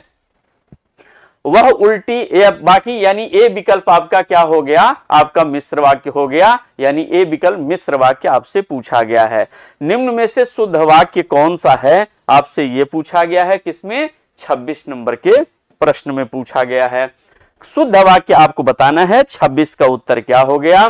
काट कर फल बच्चे को खिलाओ, यानी गलत हो जाएगा। काट कर फल फल काट कर होता है, यानी काट कर फल नहीं होता है। फल काट कर लेता तो यानी एक क्रम परिवर्तन का संबंधी दोष है, खत्म हो गया। कृपया आज का अवकाश देने की कृपा करें। यानी यहाँ कृपया आज का अवकाश देने की कृपा करें। ऐसा नहीं होगा। अवकाश आप दे रहे हैं तो कृपया यहाँ आज अवकाश देने की यहाँ यहाँ कृपया लगाए हैं, यहाँ भी कृपा किए हैं। अधिक पदत्व दोष हो जाता है, इसलिए नहीं हो जाता है। भारत में अनेक जातियाँ हैं। मैंने इसके स्थान पे किया था। कृष्ण के अनेक नाम हैं। आप अगर देख लीजिए, पिछले मैराथन में ही मैंने बस इतना कराया था और कहा था, ये पूछा जाएगा, अनुत्तीर्णता में आशा नहीं होती है, इसलिए क्या हो जाएगा? 26 का सी विकल्प आपका क्या हो जाएगा? सही हो जाएगा। ठीक है? क्लियर? चलिए अब आते हैं कितने? 26 हो गया। 27 नंबर पे आते हैं। 27 नंबर के क्वेश्चन पे देखिए क्या दिया गया है। 27 नंबर का क्वेश्चन ये दिया गया है कि निम्नलिखित में से कौन सा शब्द क्या है? पुल्लिंग है। तो पुल्लिंग क्या है? हमेशा दम, प्रकृति पुलिंग होती है। संस्कृति पुलिंग है, विकृत पुलिंद है। दंपति जो होता है, यह दंपति होते हैं, होती नहीं है। यानी ये आपका क्या हो जाएगा? 27 का सी विकल्प क्या हो जाएगा? सही हो जाएगा। 27 का सी विकल्प सो जाएगा। सर 26 को ए को देखना। अरे प्यारे, देख लो, एक बार पुनः लग रहा है तुम्हारा गलत हो गया, इसलिए तुम कह रहे हो 26 को देखना। देख लो एक बार एक बार नहीं, कई बार, एक बार देखो, हज़ार बार देखो, बार बार देखो देखने की चीज़ है। यानी यहाँ देखो, अब थोड़ा सा हम आगे बढ़ते हैं। यहाँ पर क्या हो गया 28 नंबर में आ जाइए। आडंबर का पर्यायवाची पूछा है। यहाँ पे आडंबर का पर्यावाची नहीं है तो दर्प मतलब घमंड होता है, ये नहीं है। उनतीस नंबर पे आ जाइए, यहाँ पे ये पैराग्राफ है, सॉरी, उनतीस नंबर पे आइए, उनतीस का उत्तर पैराग्राफ आप पढ़ेंगे तो उनतीस का विकल्प आपको ए आ जाएगा, उनतीस का कौन सा विकल्प आ जाएगा लाल? ए आ जाएगा, ठीक है, आप पैराग्राफ पढ़ेंगे तो आपको उत्तर मिल जाएगा। यहाँ देखिए, तीस नंबर में आप देखिए, तीस का उत्तर भी आपको ए विकल्प मिल जाएगा। इकतीस नंबर देखिए इकतीस नंबर देखिए, इकतीस का जो उत्तर मिल जाएगा, वो डी मिल जाएगा। आप पैराग्राफ पढ़ेंगे, आपको पता चल जाएगा। बत्तीस का जो उत्तर हो जाएगा, बत्तीस का उत्तर भी आपको क्या हो जाएगा? डी हो जाएगा, यानी ये हो गया, डी हो गया। यहाँ देखिए, तैतीस का उत्तर जो हो गया, तैतीस का उत्तर सी हो जाएगा। आप पैराग्राफ से क्वेश्चन है, वहीं से आपको मिल जाएगा। ठीक है? चौतीस नंबर का उत्तर आप देखिए। चौतीस का उत्तर पूछा है कंठ से, यानी गौ और घ हो जाएगा एक कंठ से हो जाएगा। आप आ जाइए, पैंतीस नंबर के क्वेश्चन पे आ जाइए। पैंतीस का क्वेश्चन पे पूछा क्या है? पैंतीस नंबर का आपको पूछा है, कौन काव्य भाषा ब्रज भाषा नहीं है? मैथिली शरण गुप्त ने ब्रज भाषा में नहीं लिखा है लाल। आ जाइए, छत्तीस नंबर पर आइए। मानसरोवर प्रेमचंद की ये कहानी का संग्रह है, जो आठ भागों में यहाँ पे संकलित किया गया है। ठीक है? अगर नगर पालिका को आप देख रहे हैं तो आप जो है नगर पालिका शिकायत पत्र आप लिख रहे हैं तो ये क्या हो जाएगा? शिकायती पत्र चूँकि नहीं दिया है, और शिकायती पत्र व्यक्तिगत पत्रों में भी हालाँकि ये क्वेश्चन कुछ गलत लग रहा है, लेकिन फिर भी अगर आप शिकायती, आप व्यक्तिगत तौर पे कर रहे हैं महानगर पालिका अध्यक्ष को आप लिखे जाने वाला शिकायत पत्र व्यक्तिगत श्रेणी में लिख रहे हैं तो व्यक्तिगत पत्रों में ही आएगा। यहाँ पर क्या हो जाएगा? अड़तीस नंबर का क्वेश्चन है, जब वर्ण का प्रथम और अड़तीस नंबर। अड़तीस का उत्तर जो हो जाएगा आपको व्यंजन संधि। पहला पद व्यंजन होगा, दूसरा स्वर होगा। कबीर दास की भाषा जो है पंचमेल खिचड़ी, श्याम सुंदर दास मेरे मैराथन से ही आया है। मैं पूरा आपको इस सब बताया हूँ। यहाँ एक भारतीय आत्मा किसको कहा गया है? माखन लाल चतुर्वेदी को कहा गया है। चालीस का उत्तर डी हो जाएगा। संविधान के अभी एकदम तीन अनुच्छेद, भाग सत्रह के तीन अनुच्छेद के तीन से तीन सौ इक्यावन तक मैंने बताया था। सबसे प्राचीन भाषा कौन सी है? सबसे प्राचीन भाषा संस्कृत पाल प्राकृत मैंने आपको पहले ही बताया था। ये सब सारे के सारे क्वेश्चन आपके पढ़ाए हुए आए हैं। एक भी प्रश्न बाहर। कौन सी रचना रचना संग्रह ब्रज भाषा में नहीं है, रसखान रचनावली, ये इन्होंने ब्रज भाषा में ही किया है पूरा, यानी रसखान महोदय ने। चलिए, आगे आते हैं, ये तिरालीस हो गया, चौवालीस नंबर का क्वेश्चन देखा जाए, क्या हो जाएगा? चौवालीस, हम चूड़िया पहनने, वाक्य की क्रिया वाला, क्या हो जाएगा? रहे हैं, रहा है, रही है तो इसमें अपूर्ण वर्तमान काल हो जाएगा, मैंने आपको सीधा सीधा बताया था। सीधा इसका उसी से क्वेश्चन आया है कौन सी संधि विच्छेद सही है? मधुधन बराबर मध्वरी होता है। यह यण स्वर संधि का उदाहरण होता है। किसके? यण स्वर संधि का क्या होता है? उदाहरण होता है। क्वेश्चन नंबर छियालीस, निम्नलिखित में अपादान का कारक का प्रयोग नहीं हुआ है। नहीं हुआ है तो पिताजी कार से गए हैं। यह नहीं हुआ है। बहुत सारे बच्चे यमुना नदी हिमालय से निकली लगाए होंगे। तो गलत लगाए हैं बेटा। ये आपका होता है। गंगा नदी हिमालय से निकली, यमुना निकली, कोई निकली तो अपादान दूरी हो रहा है। से कारक जो विभक्ति होता है, वो अपादान से होता है। यहाँ पर करण चूँकि दिया नहीं है तो इसलिए कंफ्यूजन कोई बात नहीं है। अड़तालीस नंबर का देखा जाए, क्या हो जाएगा? अड़तालीस समझौता में औता प्रत्यय लग जाएगा। समझ जो है, मूल शब्द हो जाएगा। कौन सी व्यष्टि शब्द का विलोम होता है? व्यष्टि का समष्टि होता है। यानी उनचास नंबर। और आज के सेशन का ये लास्ट प्रश्न, पचास नंबर को देख लिया जाए, क्या होगा? कौन सा? जी जी निम्नलिखित में कौन सा समाज का सही प्रकार सही नहीं है, ये आपसे पूछा है। यथा नियम, व्यय विद्या बहन तत्व, पर्णकुटी द्वंद दे दिया है। पर्णकुटी भी तत्पुरुष समाज। पंचवटी लास्ट में जाते जाते मैंने आपको महामैराथन में करा दिया था कि ये दिव्य ही होगा। और ये पूरा का पूरा क्या हो गया? आपका समाप्त हो गया। यानी इसके बाद अब देखिए, आदरणीय रवि सर आपके सामने है और पूरा एकदम जानदार तरीके से चलिए आइए। देखिए, आपने हिंदी देखा। अभी हम लोगों की प्रायोरिटी ये है कि जल्दी जल्दी हम लोग आपको आंसर दे दें ताकि आप पूरे पैटर्न को एक बार समझ सकें, एक बार पूरे पैटर्न को देख सकें। ठीक है? हम, मैं ज़्यादा तो नहीं बोलूँगा कि कहाँ से क्या आया, अमृतसर ने आपको सब कुछ ऑलरेडी बता दिया है, लेकिन हाँ आज इतना मतलब अच्छा ज़रूर लग रहा है कि चीज़ें अपनी रीच में आई हैं, जो हम लोगों ने पूरी टीम ने मेहनत की थी, उस पूरी टीम के मेहनत का आपको फल मिला है। और बहुत वैल्यूएबल कंटेंट हम लोग हमेशा आपको देते रहते हैं और इस बार भी दिया। और आप लोग खुद भी ये सोच रहे होंगे कि अगर आपने खुद मानव मतलब ह्यूमन एरर्स नहीं की होंगी, उतना ही अगर आपने पढ़ा होगा तो निश्चित रूप से आप इस पेपर में बहुत अच्छा करके आए होंगे। ठीक है? चलिए, अब हिस्सा है रीजनिंग का और जीएस का। तो पहले मैं आप लोगों को एक काम करता हूँ, पहले मैं जल्दी से आप लोगों को रीजनिंग के हिस्से को, नहीं, पहले मैं आपको जीएस के हिस्से को जल्दी जल्दी कवर कराता हूँ, ताकि आप देख लें, क्योंकि बहुत सारे बच्चों के फिर थोड़ी देर बाद अंदर जाने का जो है समय हो जाएगा, ठीक है? और फिर मैं उसको रीजनिंग को आपको करा देता हूँ। तो सबसे पहले मैं जीएस के हिस्से को 101 से आपको बताता हूँ कि 101 से आपका ये जीएस का हिस्सा है। उससे पहले बेटा मैं आपको एक चीज़ ज़रूर बता दूँ, सभी सम्मानित जो है सदस्य बेटा, देख लें इस चीज़ को। देखिए, संस्था लगातार आपके साथ मेहनत करती है। हम आपसे ये कहना चाह रहे हैं कि उत्तर प्रदेश पुलिस कांस्टेबल का बैच 10 जुलाई को आ रहा है। ठीक है? तैयार रहिए, आप अपने लोगों से कह दीजिए। यूपीएसआई का बैच भी 10 जुलाई को आ रहा है। अगर आपको लगता है कि हमने वास्तव में वैल्यूबल आपको पढ़ाया है, ठीक है? बीपीओ का बैच अगले तीन दिन में शुरू हो रहा है। ग्राम पंचायत अधिकारी का जो बैच है, वो तीन दिन में शुरू हो रहा है। और इसके अलावा भी अगर हम लोग देखें बेटा तो यूपीपी के लिए हम लोग क्रांति लिखने जा रहे हैं। यूपीपी के लिए हम लोग क्रांति करने जा रहे हैं। जितने भी यूपीपी के बच्चे हों, निशुल्क भाव से इस टेलीग्राम से जुड़ जाएँ स्कैन करके उनको बहुत फ़ायदा मिलने वाला है। यूपीपी विथ रवि सर ठीक है? इससे आप लोग जुड़ जाए। ये हमारे सारे बैच हैं जो संस्था में चल रहे हैं। आप गुणवत्तापूर्ण पढ़ाई के लिए इनमें से किसी भी बैच में प्रवेश ले सकते हैं, प्रवेश सुनिश्चित कर सकते हैं, ठीक है? इसके बाद मैं आपको बता दूँ कि ये हमारे नवीन बैच हैं जो अगले तीन दिन में शुरू हो रहे हैं। कैसे आप प्रवेश प्रक्रिया सुनिश्चित करा सकते हैं? आपका बेटा ये जो है, नंबर है काउंसलर सदस्यों का, इन नंबर्स पर फ़ोन करके आप किसी भी बैच में प्रवेश को सुनिश्चित करा सकते हैं, किसी भी बैच की जानकारी आप ले सकते हैं।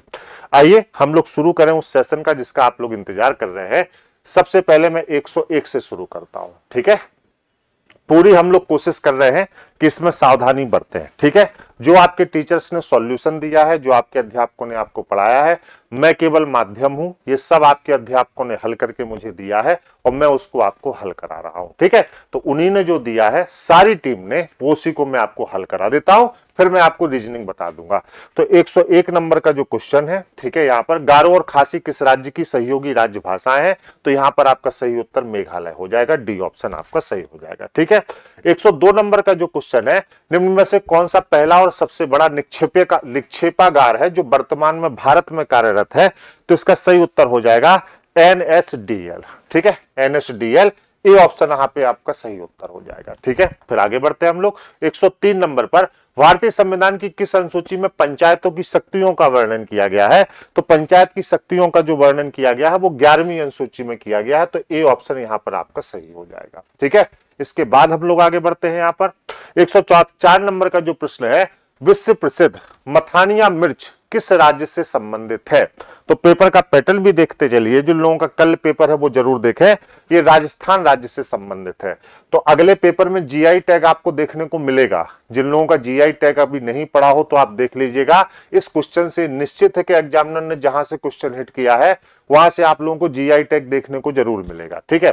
पानी के दबाव की स्थिति में साइंस कम पूछी गई है। पानी के दबाव की स्थिति में उगने वाले पौधे किस नाम से जाना जाता है? तो इनको हाइड्रोफाइट पौधे कहा जाता है, डी ऑप्शन आपका सही होगा। हाइड्रोफाइट पौधे इनको कहा जाता है 105 नंबर का जो होगा। इसके बाद हम लोग आगे बढ़ते हैं 106 नंबर का। संविधान का कौन सा अनुच्छेद राष्ट्रीय अनुसूचित जाति आयोग से संबंधित है? इस प्रश्न को मैंने भी कराया और वी के सर ने भी निश्चित आपसे कराया होगा। तो इसका है अनुच्छेद तीन सौ अड़तीस। ए ऑप्शन आपका सही हो जाएगा। करेक्ट है? चलिए। 107 नंबर का जो प्रश्न है, निम्नलिखित में से कौन पांचवी पीढ़ी के कंप्यूटरों की नींव है? लास्ट में मैंने आपको एक कंप्यूटर का पीडीएफ दिया था, जिसमें कंप्यूटर और संस्थान से संबंधित चीज़ें थी, जिनके पेपर इसके बाद है। एक बार उस पीडीएफ को ज़रूर देखेंगे। जिस जिसके भी पेपर इसके बाद है, उस पीडीएफ को ज़रूर देखेंगे। पांचवी पीढ़ी का कंप्यूटर यहाँ पे पूछा गया है तो कंप्यूटर और संस्थान आगे आपसे पूछा जाएगा, ये आप मान के चलिएगा। ठीक है तो यहाँ पे एक जो क्वेश्चन है, उसका उत्तर आपका हो जाएगा वीवीएलएसआई डी ऑप्शन आपका सही हो जाएगा। ठीक है, चलो। 108 नंबर का जो आपका प्रश्न है टोरर मल को निम्नलिखित में से किस नाम से जाना जाता था? टोरर मल को हाँ तो ये मुशरफे दीवान थे, ये ऑप्शन आपका सही हो जाएगा मुशरफे दीवान, ठीक है? चलिए, आगे बढ़ते हैं। कमलकारी चित्रकला का संबंध किससे है? तो कलम, जो कलमकारी जो चित्रकला होती है, कलमकारी चित्रकला दक्षिण भारत में हाथ से लगा हुआ सूती कपड़ा होता है। ए ऑप्शन इसका सही हो जाएगा। दक्षिण भारत में हाथ से लगा हुआ सूती कपड़ा होता है। ए ऑप्शन आपका सही हो जाएगा। ठीक है? चलिए, आइए। आगे बढ़ते हैं। देखिए, शुद्ध हल देने की कोशिश की गई है, फिर भी अगर कुछ गलती हो जाए तो भाई क्षमा करिएगा, वैसे कोशिश की गई है कि गलती ना हो। ठीक है? चलिए, बाकी वहाँ पर जो अध्यापक गण देख रहे हैं, अगर कोई क्वेश्चन गलती हो रहा हो तो करेक्शन करा देंगे। चोल साम्राज्य के संस्थापक निम्नलिखित में से कौन थे? तो चोल साम्राज्य के संस्थापक को आपसे पूछा गया है तो ये कौन थे बताओ? हाँ विजयालय चोल थे। कौन थे? विजयालय चोल थे तो यहाँ पे बी ऑप्शन आपका सही हो जाएगा। करेक्ट है बी ऑप्शन आपका सही हो जाएगा, विजयालय चोल ठीक? आगे बढ़ते हैं, यहाँ पे लिखा है, गांधी जी ने किस घटना के कारण असहयोग आंदोलन का आह्वान किया था, ठीक है? तो किस घटना के कारण किया था? चौरी चौरा चौरी चौरा घटना के कारण जो है, असहयोग आंदोलन का क्या किया था? आह्वान किया था, ठीक है? असहयोग आंदोलन का तो डी ऑप्शन आपका क्या हो जाएगा? सही हो जाएगा, ठीक? चलो, आगे बढ़ते हैं यहाँ पर। बिलिड्ज शब्द निम्नलिखित में से किस खेल से संबंधित है? बिलिड्ज शब्द निम्न में से किस खेल से संबंधित है? तो बेटा बिलिड्ज शब्द जो है, ये शतरंज से संबंधित है। बी ऑप्शन सही हो जाएगा। चेस से संबंधित शब्द है। आइए। दुनिया की पहली स्वचालित चालक रहे ट्रेन का अनावरण किस देश में किया गया? दुनिया की पहली स्वचालित चालक रहे ट्रेन जो है, किस राज्य में किया गया? तो जर्मनी में इसका अनावरण किया है। यह क्वेश्चन मैंने आपको रटलो में कराया था। ठीक है रटलो में कराया था। डिफ़िकल्ट क्वेश्चन है, लेकिन फिर भी आपको कराया गया था। एक सौ चौदवा छवी से चौदहवीं शताब्दी तक निम्नलिखित में से कौन सा सबसे शक्तिशाली महाजनपद था? तो मगध, हम सब लोग जानते हैं, है ना? कि मगध ने एक ज़बरदस्त चीज़ें देखी है तो एंशियन हिस्ट्री भी आपसे पूछी गई है। मगध साम्राज्य का उत्तर आप सबने पढ़ा होगा, बिम्बिसार को पढ़ा होगा या शत्रु को पढ़ा होगा तो मगध इसका सही उत्तर है, बी ऑप्शन आपका सही हो जाएगा। एंशियंट भी आपसे पूछा गया है। अंगुत्तर निकाय में सोलह महाजनपदों का वर्णन है। अंग, मगध, काशी, कौशल, वज्र, चेटी, मल, वत्स मस्तवंती गंजार कंबो सूरसन, अश्वक, है ना? अगुत्तर निकाय में। छठी शताब्दी ईसा पूर्व के महाजनपद है। आगे के लिए तैयार रहिएगा। दलमा अभ्यारण्य निम्न से किस राज्य में स्थित है? थोड़ा सा डिफरेंट क्वेश्चन है। झारखंड में स्थित है। झारखंड में दलमा अभ्यारण्य, झारखंड में स्थित है।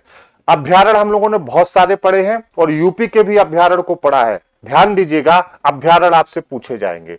करंट में जितने अभ्यारण रहे हैं, एक बार उनको ज़रूर याद करिएगा, अगली मीटिंग में आपको मिलेगा। ठीक है? चलो। उत्तर प्रदेश में चित्रकूट वाला ज़रूर देख लीजिएगा। माई लाइफ किसकी आत्मकथा है? माई लाइफ किसकी आत्मकथा है? Will Clinton.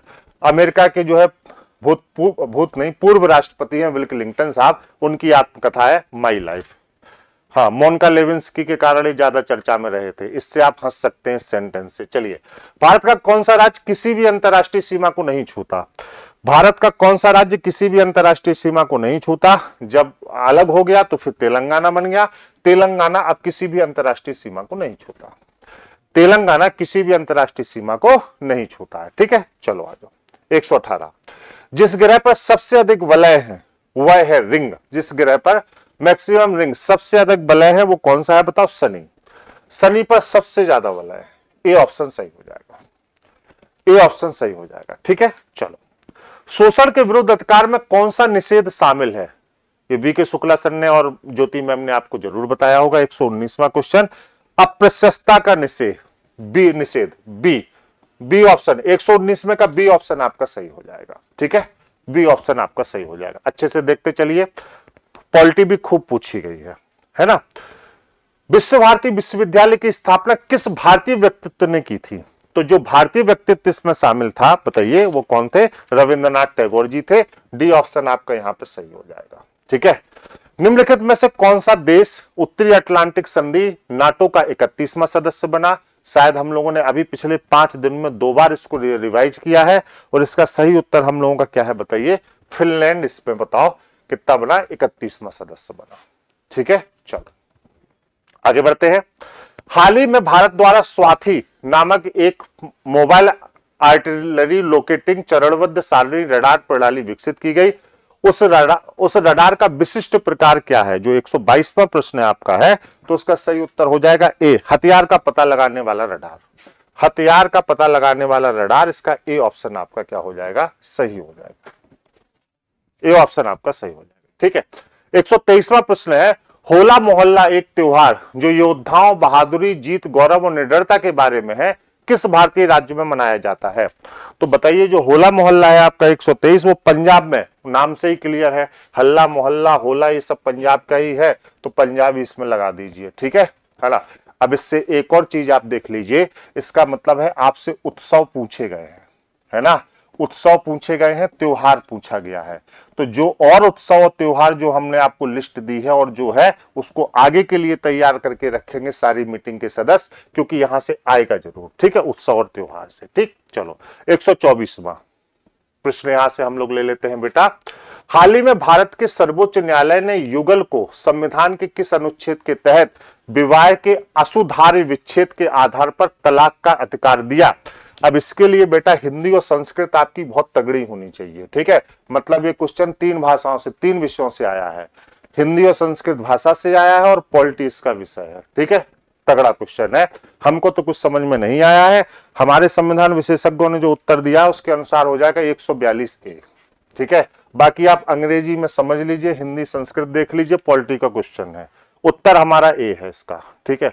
मतलब एक आठ क्वेश्चन ऐसा भी देखने को आपको मिलेगा। चलो। केंद्रीय गृह मंत्री अमित शाह जी ने किस क्षेत्र में केंद्रीय गृह मंत्री अमित शाह जी ने किस क्षेत्र में उल्लेखीय कार्य के लिए अप्पा साहेब धर्माधिकारी को महाराष्ट्र भूषण पुरस्कार प्रदान किया? ठीक है, महाराष्ट्र भूषण का पुरस्कार मिला है सामाजिक कार्य के लिए, सोशल वर्क के लिए। ठीक है, क्योंकि इसका कोई मापन नहीं होता मेज़रमेंट नहीं होता।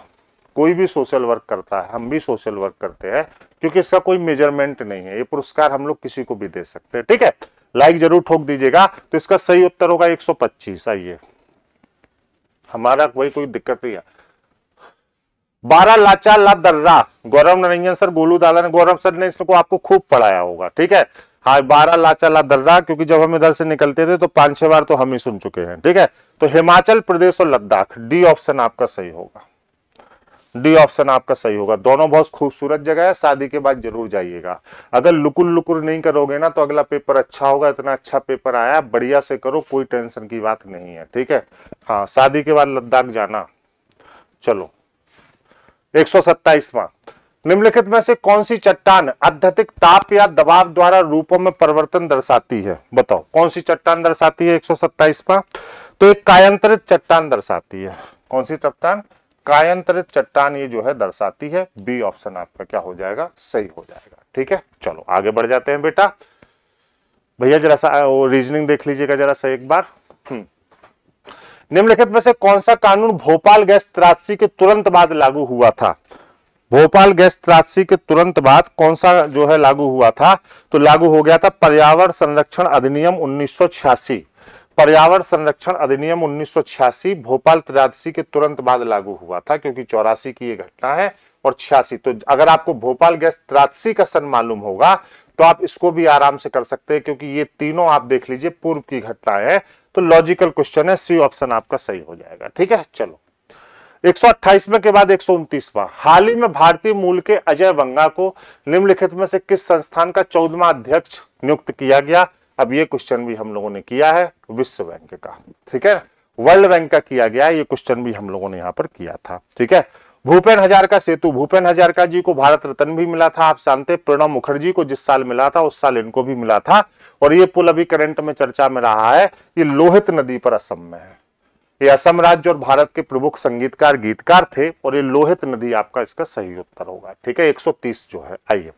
इसके बाद देखते हैं बेटा, यहाँ पर 131वां जो प्रश्न है आपका, किस देश के शोधकर्ताओं ने अदृश्य गैलेक्सी या ब्लैक गैलेक्सी की खोज की? ठीक है तो अदृश्य गैलेक्सी या ब्लैक गैलेक्सी की खोज बेटा यहाँ पर किसने की? इटली। इटली रडार पर है। इटली की प्रधानमंत्री को याद रख लीजिएगा, है ना? याद है ना? मेलोनी। हाँ मेलोनी जी को याद रखिएगा, जॉर्जिलिया मेलोनी जी को, जॉर्जिलिया मेलोनी जी को याद रखिएगा। मुख्य अतिथि भी रही हैं और जो है इसके रायसीना डायलॉग में और उनको साड़ी, पटोला साड़ी भी प्रधानमंत्री ने दी थी। आगे देखने को मिल जाए तो कोई बड़ी बात नहीं है। एक सौ देख लो बेटा। पीएम मोदी ने किस राज्य में जल जन अभियान का वर्चुअल उद्घाटन किया? इसका मतलब है कोई ना कोई योजना आपसे केंद्र की पूछी ज़रूर जाएगी। जो योजनाएँ चल रही हैं, वो योजनाएँ आपसे पूछी ज़रूर जाएँगी 132 में के हिसाब से। इसका सही उत्तर हमारा क्या होगा? राजस्थान हो जाएगा। बी ऑप्शन आपका सही हो जाएगा। ठीक है? हाँ बी ऑप्शन आपका सही हो जाएगा। पटोला साड़ी दी थी ना? निम्नलिखित में से किस राज्य ने मेरो रुख, मेरो संतति नामक हरित पहल की शुरुआत की सिक्किम राज्य ने की? सिक्किम राज्य ने की। ठीक है ना? सिक्किम राज्य ने शुरुआत की। याद रखना है आपको। ठीक, चलो आ जाओ बेटा। निम्नलिखित में से कौन सा देश रामायण से जुड़े स्थलों की पहचान कर भारत के लक्षित पर्यटन को बढ़ावा दे रहा है? जितने भी प्रिय सदस्य हैं, उन सबको रात के आठ बजे से रीजनिंग के पूरे सेगमेंट को मैं हल कराऊँगा, दोनों पेपर के। फ़र्स्ट पेपर का भी और सेकंड पेपर का भी, उसका पूरा सॉल्यूशन मैं आपको कराऊँगा। अभी मैं आपको आंसर दे दूँगा, क्योंकि बहुत सारे बच्चे जल्दी में हैं, जाने वाले हैं। आठ बजे से मैं पूरे सॉल्यूशन को आपको एक बार फिर से कराऊँगा। अभी मैं सारी रीजनिंग को इतना समझा दूँगा कि आपका काम हो जाएगा। ठीक है? चलो। निम्नलिखित में से कौन सा देश रामायण से जुड़े स्थलों की पहचान कर भारत के लक्षित पर्यटन को बढ़ावा दे रहा है? श्रीलंका ही ऐसा कर सकता है, क्योंकि श्रीलंका में ही रामायण से जुड़े हुए स्थल सबसे ज़्यादा है। तो इसका सही उत्तर हमारा क्या हो जाएगा बताओ? श्रीलंका हो जाएगा। ठीक है? एक सौ निम्नलिखित में से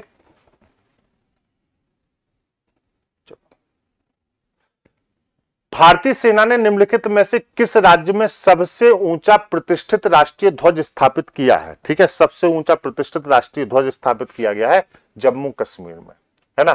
पहले यहाँ पे झंडा नहीं लहरा था, था तिरंगा नहीं लहराता था था लेकिन अब सबसे ऊँचा तिरंगा यहाँ पे लहरा रहा है ठीक है? तो चलिए यहाँ पर देख लीजिएगा ये ऑप्शन आपका सही हो जाएगा। 136 बार।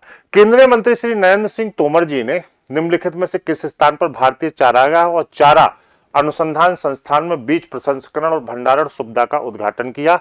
बड़ा थोड़ा सा डिफरेंट टाइप क्वेश्चन है बेटा ये, है ना? तो ये कहाँ पे किया बताइए? झांसी में किया गया। ये यूपी स्पेशल से भी जुड़ा है झांसी में और यूपी करंट के क्वेश्चन आपसे दो इसमें पूछे गए हैं तो आराम से आगे आएगा। लगभग दस क्वेश्चन यूपी और करंट से आपके कवर हो रहे हैं, दस से बारह क्वेश्चन जो हम लोगों की बात थी कि बारह से पंद्रह कवर करेगा। अब ऐसा नहीं कि हर पेपर में इतना ही आएगा, हो सकता आगे भी आ जाए, ठीक है? उत्तर प्रदेश सरकार ने खेलो इंडिया योजना के तहत, मैं आपसे कह रहा हूँ, खेलो इंडिया यूथ गेम्स और जो है, जो अभी हम लोगों ने कल पढ़ा था ना, खेलो इंडिया यूनिवर्सिटी गेम्स, ये सब तैयार रखिए आगे के लिए। उत्तर प्रदेश सरकार ने खेलो इंडिया योजना के तहत जिलों के जिलेवार खेलों को ओडीएस, एक जिला, एक खेल में शामिल करने के लिए केंद्र सरकार से सहमति ली, ठीक है? हाँ तो आपको बताना है, कितने जिलों? बोलो तो यहाँ पर सही उत्तर आपका क्या हो जाएगा बेटा? एक सौ सैंतीस का। दस। दस हो जाएगा। कितना हो जाएगा? दस सी ऑप्शन सही हो जाएगा। ठीक है? ऑपरेशन सद्भावना, भारतीय सेना द्वारा किस राज्य केंद्र शासित प्रदेश में शुरू किया गया? ऑपरेशन सद्भावना, बेटा कहा शुरू किया गया? लद्दाख में शुरू किया गया। ठीक है? ऑपरेशन पूछे गए हैं। ऑपरेशन की जो लिस्ट दी गई है, उसको एक बार ज़रूर याद रखिएगा। ठीक है? इसके बाद एक सौ उनतालीस नंबर पर आ जाते हैं। निम्नलिखित भारत के निम्नलिखित में से किस राज्य में दुनिया के सबसे लंबे रेलवे प्लेटफॉर्म का उद्घाटन किया गया? हुबली कर्नाटक में। सिद्ध कल भी पढ़ा था परसों भी पढ़ा था नरसों भी पढ़ा था। तीन दिन से लगातार पढ़ रहे हैं। ठीक है? कहाँ पे किया गया? हुबली कर्नाटक में। ठीक है? जब नगद आरक्षित अनुपात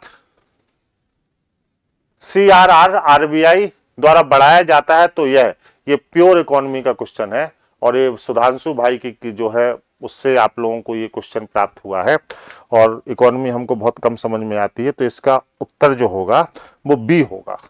अर्थव्यवस्था में पैसे की आपूर्ति में कमी लाएगा। अर्थव्यवस्था में पैसे की आपूर्ति में कमी लाएगा। ठीक है? चलो। एक सौ उत्तर प्रदेश के किस ज़िले में बालिकाओं को उनके जीवन के विभिन्न चरणों में सशर्त एकड़ रोकड़ हस्तांतरण प्रदान करने के लिए मुख्यमंत्री कन्या सुमंगला योजना शुरू की गई। कल अब देखो, इसका मैंने बजट भी आपको कल बताया था, उसका कुल बजट भी बताया था, और ये योजना कहाँ पे शुरू की गई? लखनऊ में शुरू की गई, है ना? तो उत्तर प्रदेश के लखनऊ में बेटा इस योजना शुरू की गई। याद रखो। ठीक है? यूपी स्पेशल आइए। इसके बाद आगे बढ़ते हैं। संविधान, भारतीय संविधान में सामाजिक समानता का अर्थ क्या है? बहुत बेसिक क्वेश्चन आपसे पूछा गया है। भारतीय संविधान में सामाजिक समानता का अर्थ है आपका 142वां क्वेश्चन जो है, बताओ, समाज के सभी वर्गों के लिए समान अवसर प्रदान करना ए ऑप्शन आपका सही हो जाएगा।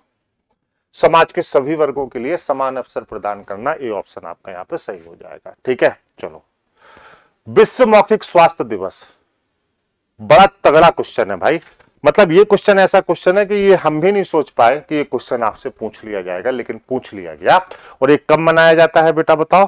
तो ये आपका मनाया जाता है बताओ, ये मनाया जाता है बीस मार्च को। हमें भी नहीं पता था इससे पहले और हमने भी पहली बार पढ़ा है।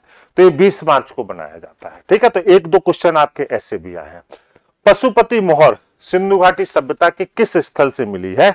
तो जो पशुपति मोहर है बेटा, वो सिंधु घाटी सभ्यता के मोहन जोदड़ो नामक स्थान से मिली है, ठीक है? मतलब सिंधु नदी घाटी से भी जो है आपसे प्रश्न पूछे पूछे गए हैं, याद रखिएगा। कालीबंगा से चना, रंगपुर से धान की भूसी, हड़प्पा से तिल, है ना? तो ये सब आपको याद होगा, गौरव पांडे सर ने आपको पढ़ाया होगा। थोड़ा बहुत मुझे भी आता है तो मैं भी कभी कभी बता देता हूँ, ठीक है? निम्नलिखित में से कौन सा देश बैंकॉक, थाईलैंड में APPU Asian Pacific Postal Union का प्रभार लेता है है ना? ये भी मैंने बेटा आपको बताया था कि भारत को इसका प्रभार मिला है।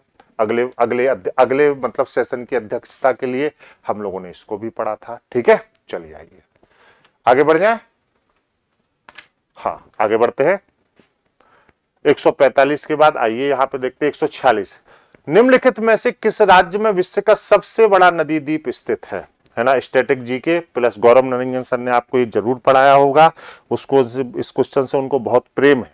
ठीक है? तो सी असम में। मौर्य सर रीजनिंग लेके आ जाए भाई, बच्चों को रीजनिंग पढ़ाने, क्योंकि ये खत्म हो रहा है, उनको रीजनिंग भी दिखा दिया गया एक सौ सैंतालीस में।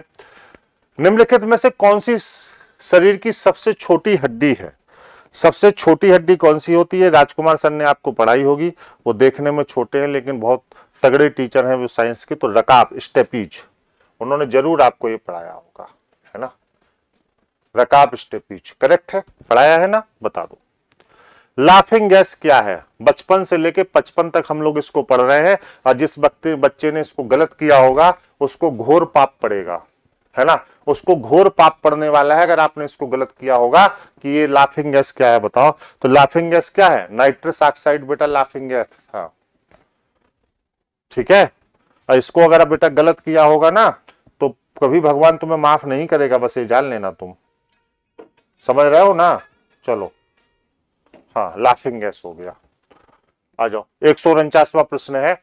निम्नलिखित में से कौन सा विटामिन लाल रक्त कोशिकाओं के निर्माण के लिए महत्वपूर्ण है? बताओ। लाल रक्त कोशिकाओं के निर्माण के लिए महत्वपूर्ण विटामिन निम्न में से कौन सा है बेटा? तो विटामिन बी ट्वेल्व इसका हो जाएगा। विटामिन बी ट्वेल्व इसका उत्तर हो जाएगा। ये देखो। सब लोग लिया करिए। बी ट्वेल्व की कमी नहीं होनी चाहिए। आपके शरीर में बहुत ज़रूरी होता है। रीजनिंग लेके आ जाइए भाई। लिखा है 150वां प्रश्न, लिखा है मिसमी जनजाति भारत के निम्नलिखित में से किस राज्य की निवासी है? मतलब मिसमी जनजाति कहाँ पर पाई जाती है? तो मिसमी जनजाति आपकी पाई जाती है बेटा कहाँ पर? अरुणाचल प्रदेश में पाई जाती है। तो इसका बी ऑप्शन सही होगा, अरुणाचल प्रदेश, ठीक है? आइए तो इसका बी हो गया। अब हम लोग रीजनिंग पर आते हैं। रीजनिंग के हिस्से को हम लोग देखते हैं। तो रीजनिंग के, ये तो मैंने आपको जी के जीएस करा दिया, ठीक है? चलिए, अब रीजनिंग के हिस्से को देख लेते हैं हम लोग। तो रीजनिंग का हिस्सा आपका कहाँ से शुरू हो रहा है? एक मिनट बेटा।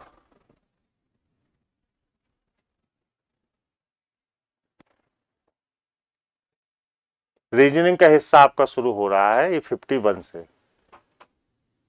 हाँ। चलिए। फिफ्टी पहला प्रश्न है, यदि वह बुद्धिमान है तो वह परीक्षा में उत्तीर्ण होगा। परीक्षा में उत्तीर्ण होने के लिए पहला निष्कर्ष से शुरू हुआ है, परीक्षा में उत्तीर्ण होने के लिए बुद्धिमान होना आवश्यक है।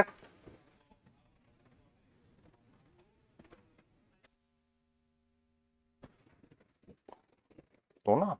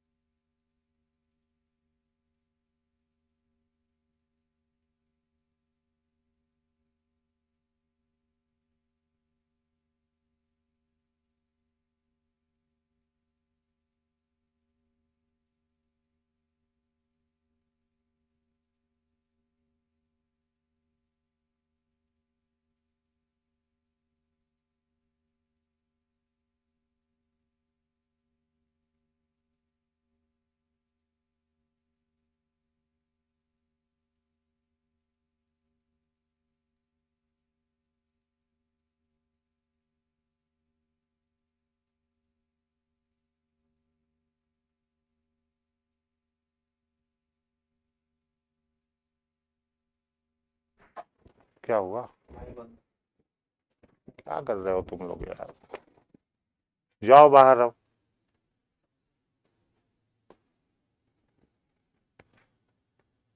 पहला देख लो, यदि वह बुद्धिमान है तो परीक्षा में उत्तीर्ण होगा। पहला वो बुद्धि तो इसका सही उत्तर क्या होगा? आपका ए होगा, है ना? वह बुद्धिमान है तो परीक्षा में उत्तीर्ण होगा, पहला यहाँ पे क्या हो जाएगा, सही हो जाएगा। ठीक है, चलिए। इसके बाद 952 का थोड़ी देर के लिए माइक बंद हो गया था। 52 का अगर हम लोग देखें यहाँ पे तो 44 आंसर आपका सही होगा। अभी संदीप सर ने इसको आपको हल कराया था, डी ऑप्शन आपका सही होगा। 53 में बेटा अगर हम लोग चले तो ये आपका पेपर कटिंग एंड फोल्डिंग का क्वेश्चन है 53 आपको दो आकृतियाँ दी गई हैं 53 की। तो इस 53 की जो आकृतियाँ हैं, इसमें आपका क्या हो जाएगा, पेपर कटिंग एंड फोल्डिंग में। तो देखो ये यहाँ आएगा और ये यहाँ आएगा तो सही ऑप्शन आपका क्या हो जाएगा? डी हो जाएगा, क्योंकि एक फोल्डिंग इस तरफ़ की है और एक फोल्डिंग इस तरफ़ की है। पेपर कटिंग एंड फोल्डिंग के क्वेश्चन के लिए आगे भी तैयार रहे, ठीक है? चलिए। रीजनिंग में वैसे बहुत ज़रूरत आपको है नहीं, बहुत ज़्यादा आप लोगों ने पढ़ा है। क्वेश्चन नंबर आपका मैं आवाज़ आंसर ही बता देता हूँ, बाकी हल मैं शाम को कराऊँगा। 54 का जो आपका आंसर होगा, वो 54 का आंसर आपका बी होगा, ठीक है? पड़ोसी कभी भी विपरीत नहीं हो सकते और विपरीत कभी भी पड़ोसी नहीं हो सकते। ठीक है? 55 का जो आंसर होगा 55 में आपसे पूछा गया है, ऐसे व्यक्ति को जो डॉक्टर भी हैं, लेकिन जो खिलाड़ी हैं डॉक्टर है, लेकिन कलाकार नहीं है, ऐसा व्यक्ति बी होगा। अब बी आपका कहाँ पे आएगा? तो बी आपका आ रहा है सी वाले में तो सी ऑप्शन आपका सही हो जाएगा। ठीक है? चलो, इसके बाद अगर हम लोग देखें 55 के बाद तो छप्पनवा प्रश्न जो आपका यहाँ पे है बेटा हाँ क्या किस्तों पर देखो, इस प्रश्न को ज़रूर देख लेना। मैं कुछ प्रश्न, क्या किस्तों पर चीज़ें खरीदना ग्राहक के लिए लाभदायक है? हाँ उसे कम भुगतान करना पड़ेगा, ये गलत है। कम नहीं करना पड़ेगा, बल्कि उसे पार्ट पेमेंट करना पड़ेगा। पार्ट पेमेंट का मतलब होता है कम नहीं, बल्कि उसे धीरे धीरे भुगतान करना पड़ेगा। धीरे धीरे भुगतान करना पड़ेगा। कम का मतलब तो हो गया कि कम भुगतान करना पड़ेगा तो कम नहीं धीरे धीरे करना पड़ेगा। तो एक भी सही नहीं है, नहीं किस्तें देने से परिवार का बजट बिगड़ जाता है, एक काल्पनिक है तो दोनों सही नहीं है। तो ना तो एक होगा और ना ही दोनों होगा, बी ऑप्शन आपका सही हो जाएगा। ना तो ए मज़बूत है, ना ही बी दूसरा मज़बूत है। बी ऑप्शन आपका यहाँ पे सही हो जाएगा। ठीक है? चलिए, आगे देखते हैं। क्या सीखना एक सतत प्रक्रिया है? 57 क्या सीखना एक सतत प्रक्रिया है? पहला हाँ सीखने के लिए बहुत कुछ है और हमारे पास इतना कम समय है तो ये सतत प्रक्रिया है, ये तो भाई जेन्युन है। और हाँ सीखने के लिए बहुत कुछ है। नहीं, देखो, ये कंसीडर नहीं कर रहा और हमारे पास इतना कम समय है। समय के ऊपर कोई बात नहीं की गई है। नहीं, अपने विषय में उच्चतम डिग्री प्राप्त करने के बाद सीखना बंद हो जाता है। दोनों ही तर्क मज़बूत नहीं है। मतलब ना तो ये पहला मज़बूत है, ना ही दूसरा मज़बूत है तो सी हो जाएगा। ना तो तर्क एक मज़बूत होगा और ना ही तर्क दूसरा मज़बूत होगा। ठीक है? हाँ पेपर इजी है। पेपर ज़्यादा टफ नहीं है। आइए। निम्नलिखित आकृति में कितने त्रिभुज होंगे? ठीक है? ये त्रिभुज हम लोग कई बार हल भी किए हैं। इस आकृति में 20 त्रिभुज होंगे। ट्राइंगल आगे भी पूछे जाएँगे। देख लीजिएगा। ठीक है? हाँ। उनसठवा सवाल। ये आपसे साफ़ साफ़ पूछा गया है कि उनकी आयु का अनुपात सात, अनुपात नौ है। तो ये क्या होगा? तो इक्कीस साल हो जाएगी। फिफ्टी वन ट्वेंटी वन इसका सही उत्तर होगा। D option twenty one D option इसका सही उत्तर हो जाएगा। आइए। अब यहाँ पर आपको एक पजल दी गई है। पजल में आपके क्वेश्चंस हैं। अब इसमें हम हम सब लोग इसको आपको शाम को आठ बजे से हल कराएँगे। आप बिल्कुल परेशान मत होइए। इस पजल में साठवां क्वेश्चन है आपका। हाँ भाषण का उत्तर है सोमवार को। ठीक है? जो बच्चे हों वो एक बार चेक कर लें। बड़ी पजल है। फिर इसमें इकसठवा वाद विवाद में कौन परफॉर्म करता है? तो वाद विवाद में जो परफॉर्मेंस है आपका तो वाद विवाद के परफॉर्मेंस का उत्तर आपका सी होगा। नृत्य कौन करता है? ठीक है तो नृत्य वाला जो प्रश्न है आपका, नृत्य कौन करता है? तो नृत्य वाले का जो उत्तर होगा वो एफ़ होगा। डी ऑप्शन आपका सही हो जाएगा यहाँ पर। एफ़ डी ऑप्शन सही होगा। जिसने किया है वो एक बार देख लें इसको चेक कर लें। इसके बाद तिरसठवा है। प्रत्येक आठ को गिने जिनके ठीक पहले छह नहीं है, लेकिन उनके ठीक बाद छह है। बताइए तो ठीक तो ऐसे कितने संयोजन है? तो दो संयोजन होंगे। ए ऑप्शन सही हो जाएगा। ए ऑप्शन सही हो जाएगा। इसके बाद चौसठवा। चौसठवा। लिखा है यदि दी गई व्यवस्था से सभी ए को हटा दिया जाए तो निम्नलिखित में से कौन सा विकल्प दी गई व्यवस्था के बाएँ ओर से ग्यारहवा होगा? लेफ़्ट से ग्यारह आपसे पूछा गया है तो लेफ़्ट से ग्यारह होगा ई ए ऑप्शन सही होगा। लेफ़्ट से ग्यारह होगा ई चौसठ में का ए ऑप्शन सही होगा, ठीक है? चलो, पैंसठ बार पूर्व धारणा आपसे पूछी गई है। हमारी अनुमति के बिना हमारे सॉफ्टवेयर की नकल न करें, एक सूचना है, ठीक है? तो पहला सॉफ्टवेयर की नकल करना संभव है? ऐसी चेतावनी का कुछ असर तो होगा। करेक्ट है? हाँ तो दोनों ही अंतरधारणाएँ अंतर्निहित है कि भाई किसी को ये डाउट होगा कि नकल किया जा सकता है पॉसिबल है, इसलिए उसने कहा, ऐसी चेतावनी का कुछ तो असर है, दो हो गया, है ना? तो दोनों ही पूर्व धारणा अंतर्निहित है तो बी ऑप्शन आपका सही हो जाएगा। दोनों ही पूर्व धारणा अंतर्निहित है तो बी ऑप्शन आपका यहाँ पे सही हो जाएगा। करेक्ट है? आइए, यहाँ पे आगे बढ़ते हैं हम लोग। छियासठवा। छियासठवा। लॉजिकल रीजनिंग खूब आई है। यहाँ पे लिखा है, कुछ प्रश्न उत्तर है, कुछ उत्तर लेखक है, सभी लेखक कवि है, ठीक है? तो आपको बताना है कि इसका क्या होगा। तो एक और चार अनुसरण आपका करेंगे, ठीक है? एक और चार अनुसरण आपका करेंगे। पहला कुछ लेखक उत्तर है अनुसरण करेगा, और चौथा कुछ कवि उत्तर है, ये भी अनुसरण करेगा। तो डी ऑप्शन आपका सही होगा। सिलोलिन भी पूछा गया है, लेकिन बेसिक सिलोलिन पूछा गया है, बहुत परेशानी की बात यहाँ पर नहीं है, ठीक है? सड़सठवा फिफ्ट हाँ सिक्सटी सेवन देख लीजिए यहाँ पर। 67 है आपका बेटा यहाँ पर। निम्नलिखित संख्या में प्रश्नवाचक चिन्ह के स्थान पर क्या आएगा? तो एक सीरीज़ आपको दी गई है और सीरीज़ में आपको बताना है कि प्रश्नवाचक चिन्ह के स्थान पर क्या आएगा? एक सौ बयासी आएगा 182 ठीक है? हाँ एक सौ बयासी आएगा। इसके बाद अड़सठवा, चालीस लड़के पंक्ति में बाई ओर से हम्म। अड़सठवा है आपका, चालीस लड़के, चौथा स्थान आएगा इसमें। सी वाला ऑप्शन सही होगा। चौथा स्थान आएगा। सी वाला ऑप्शन सही होगा। उनहत्तरवा। रमा और मोहन एक विवाहित युगल हैं, जिनकी स्मिता का नाम की दो बेटियाँ सिक्सटी नाइन पर अगर हम लोग जाए, फुफेरे मेरे भाई बहन ठीक है? तो इसका बी ऑप्शन सही होगा। मैं इस समय हल नहीं करवा रहा हूँ, मैं शाम को हल कराऊँगा। मौर्य सन ने विकास सन ने इसके जो है हल में पूरी कोशिश की है कि आपको शुद्ध दिया जाए। फिर भी अगर एक आध क्वेश्चन डिस्टर्ब होता है तो परेशान नहीं होंगे। शाम को मैं इसका एक्यूरेट हल आपको दे दूँगा, ठीक है? सत्तरवा, आइए। नब्बे की एक कक्षा में जहाँ लड़कियाँ लड़कों की संख्या की दोगुनी है, श्रीधर ऊपर से चौदहवें स्थान पर यदि श्रीधर से दस लड़कियाँ आगे हो तो उसके बाद रैंक में कितने लड़के हैं? ऐसे पाँच सवाल हम लोगों ने किए थे। बताइए क्या हो जाएगा? इसका सही उत्तर हो जाएगा ट्वेंटी सिक्स छब्बीसवा, ठीक है? सत्तरवा, इकहत्तरवा देख लेते हैं। प्रश्न आकृति के छूटे हुए भाग को पहचाने मतलब कंप्लीशन ऑफ़ द फिगर है, आकृति को पूर्ण करना है तो बी ऑप्शन आपका सही हो जाएगा। बी ऑप्शन आपका सही हो जाएगा। बी ठीक है? चलो, इसके बाद देख लेते हैं। 111 का उत्तर आपने उल्टा करा दिया चेक कर ले। ठीक है, हम चेक कर लेंगे, कोई बात नहीं। 111 जरा सा चेक कर लीजिए टीम से कह दीजिए। चलो। बहत्तर में क्वेश्चन का उत्तर क्या है? 72 का। सरकार की इस नीति से महिलाओं को काफ़ी फ़ायदा हुआ है। सरकार की इस नीति से महिलाओं को काफ़ी फ़ायदा हुआ है। यदि अनुमान निश्चित रूप से सत्य है, ए ऑप्शन इसका सही हो जाएगा। ठीक है? ए ऑप्शन इसका सही हो जाएगा। ठीक है? बहत्तर में का ए ऑप्शन सही हो जाएगा। चलो, इसके बाद हम लोग आते हैं सेवेंटी थ्री पर। महिलाओं को आत्मनिर्भर बनाने के लिए पुरुषों की तुलना में अधिक वेतन दिया जाना चाहिए। तिहत्तर का बी ऑप्शन आपका सही होगा। जो लोग लगाए हैं वो बी ऑप्शन। बेटा, अगर कुछ गलत हो गया होगा तो हम लोग कर लेंगे। हाँ जल्दी कर रहा हूँ बेटा। तिहत्तर का बी हो गया। मैं समझ रहा हूँ कि आपको जाना है। सेवेंटी फोर चौहत्तर में का क्या उत्तर होगा आपका? सेवेंटी फोर चौहत्तर में का उत्तर आपका होगा सी ऑप्शन। ठीक है? सी। दो, चार, एक, पाँच, तीन। ठीक है?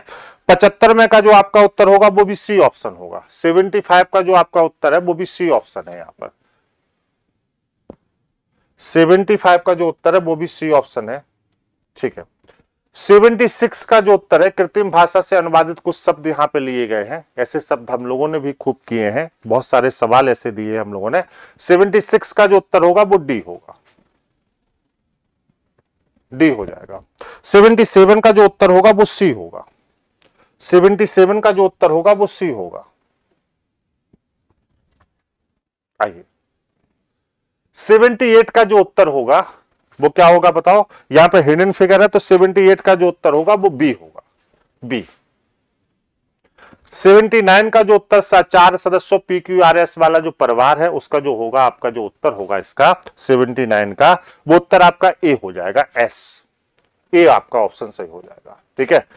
अस्सीवा जो आपका सवाल है, उस अस्सीवें सवाल के उत्तर को अगर हम लोग देखें यहाँ पर, ठीक है अस्सीवा जो सवाल है, यदि P का अर्थ प्लस है, Q का अर्थ माइनस है तो ये आपसे कोडेड रिलेशन एक पूछा गया है तो इसका सही उत्तर होगा 132 लेकिन एक कोडेड रिलेशन जो आपका न्यूमेरिक वैल्यू में आपसे पूछा गया है ब्लड रिलेशन का कोडेड रिलेशन नहीं है 132 इसका उत्तर हो जाएगा 132 चलिए, आइए। यदि प्लस का अर्थ है घटाना माइनस का अर्थ है भाग, इक्यासी नंबर का ये क्वेश्चन है, इसका उत्तर होगा माइनस आठ। माइनस आठ। सोल्यूशन रात में आठ बजे से मिलेगा आपको रीजनिंग का। बयासी आपको बताना है कि सही इसका वाटर इमेज क्या होगा बयासी में का? तो सही वाटर इमेज इसका जाएगा सी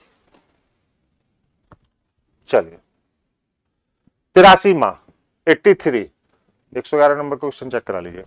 तिरासी माह एट्टी थ्री निम्नलिखित प्रश्न के चार संभावित उत्तर दिए गए इसका सही उत्तर होगा डी डी उत्तर सही होगा। करेक्ट है? चौरासी बार कोडिंग डिकोडिंग बहुत कम पूछी गई उस हिसाब से देखा जाए 84 का। यदि ग्राफिक्स को हम लोगों ने किसी सबसे कोट किया है तो आपको बताना है तो इसका उत्तर डी होगा। डी होगा। ठीक है? चलो।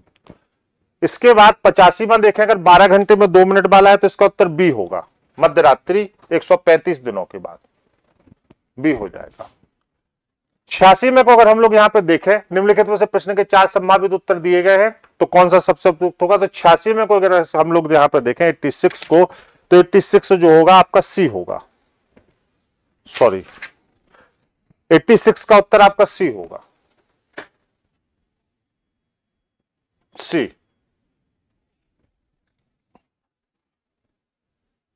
सॉरी सी होगा सी बी नहीं सी विनम्रता से कहेंगे कि खाना बहुत अच्छा था और आप पहले भी बहुत खा चुके हैं। चलिए, आगे बढ़ते हैं। ऐसा नहीं कि चाप के खा लेंगे, फिर बीमार हो जाएँगे। सतासी में का उत्तर देख लीजिए तो 87 का जो उत्तर है, वो भी आपका सी जा रहा है। ई एफ़ और डी के बीच में बैठा है। अठासी में का उत्तर आपका ए जा रहा है। अठासी में का जो उत्तर है आपका 88 का, वो उत्तर आपका ए जाएगा। उत्तर पूरब, है ना?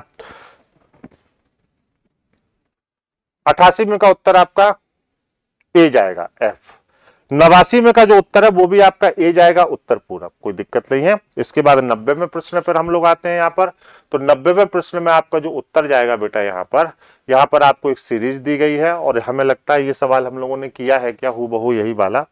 तो ये जो आपका बी हो जाएगा. यही सवाल हम लोगों ने नॉन वर्बल में किया है. क्या एक बार चेक कर लीजिए. हु बहु यही सवाल. नाइनटी एक बार देख लीजिए. मैं बहुत संतुष्ट हूँ इस रीजनिंग के पेपर से, है ना? कोई दिक्कत इसमें है नहीं। 91 जो हवाई जहाज़ वाला है, उसका उत्तर डी होगा। डी होगा। ठीक है? हाँ। 92 उत्तर बी होगा। देखिए, कुछ उत्तर लॉजिकल रीजनिंग के और बाकी चीज़ों के गलत हो सकते हैं तो परेशान आपको नहीं होना है इस चीज़ में। अभी हम लोग शाम को आठ बजे से रीजनिंग का संपूर्ण हल देंगे। आज वाले भी देख लेंगे, कल वाले भी देख लेंगे। ठीक है? चलो। 92 का जो उत्तर होगा, वो क्या होगा? तो 92 का जो उत्तर यहाँ पे होगा बेटा, वो बी होगा। यदि दोनों कथनों में दिया गया डेटा एक साथ प्रश्नों का उत्तर देने के लिए पर्याप्त नहीं है, ठीक है? चलिए 93 पे आते हैं। 93 में रैंकिंग आपकी पूछी गई है रैंकिंग खूब पूछी गई है। इसका उत्तर होगा एफ़ और बी बी ऑप्शन सही होगा।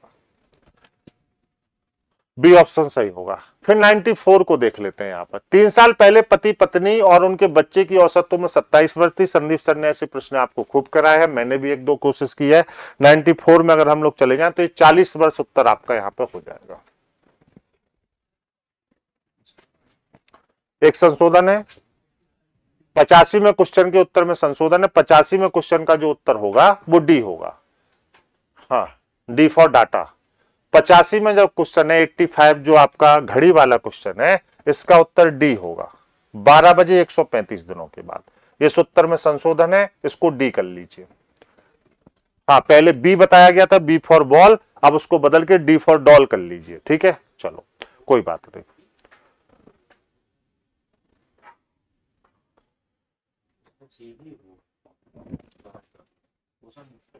कोई बात नहीं। पचासी में देख लो आप लोग एक बार 85 देख लो। अगर कुछ प्रश्न गलत होंगे तो हम संशोधन अभी करा देते हैं। पहले आप पूरा कर लीजिए 95 का देख लीजिए। अकेले दो में दिया गया डाटा पर्याप्त है। तो केवल दो में दिया गया डाटा पर्याप्त है बी ऑप्शन यहाँ पर आपका सही हो जाएगा। ठीक है? बी ऑप्शन सही हो जाएगा। ठीक है?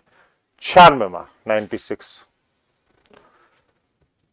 पाँच बजकर बीस मिनट पर घड़ी की घंटे और मिनट की सुइयों के बीच का कोण ज्ञात करिए, है ना? तो इसका जो सही उत्तर होगा वो क्या होगा? 140 हो जाएगा। 40 हो जाएगा केवल। 140 नहीं 40 सी सत्तानवे में सात दिसंबर 1941 को रविवार का दिन होगा। रविवार का दिन होगा। 98 पाँच दिसंबर उन्नीस सौ तिरानवे को निर्मला और राजू ने रविवार को अपनी वर्षगांठ बनाई तो उन्नीस में उनकी वर्षगांठ शुक्रवार को होगी। मौर्य सर मैरिज एनिवर्सरी वाले क्वेश्चन बहुत सही लगाते हैं। ठीक है? 99 अक्षर समूह के चार जोड़े दिए गए जिसमें से तीन किसी ना किसी प्रकार से एक जैसे हों और एक अलग है। तो आपको बताना है कौन सा अलग है? डी ऑप्शन वाला अलग है। ठीक है? डी वाला अलग है। क्यों अलग है? रात में बताएँगे। सोमा। ठीक है? तो ये सौमा जो प्रश्न है बेटा, इसका उत्तर हो जाएगा आपका सौम्य प्रश्न का ए, है ना? सौम्य प्रश्न का जो उत्तर है आपका वो क्या हो जाएगा? ए हो जाएगा। ए हो जाएगा। आप कुछ संशोधन है वो देख लीजिए। जैसे आप में से कुछ लोग कह रहे थे कि 111 प्रश्न गड़बड़ है।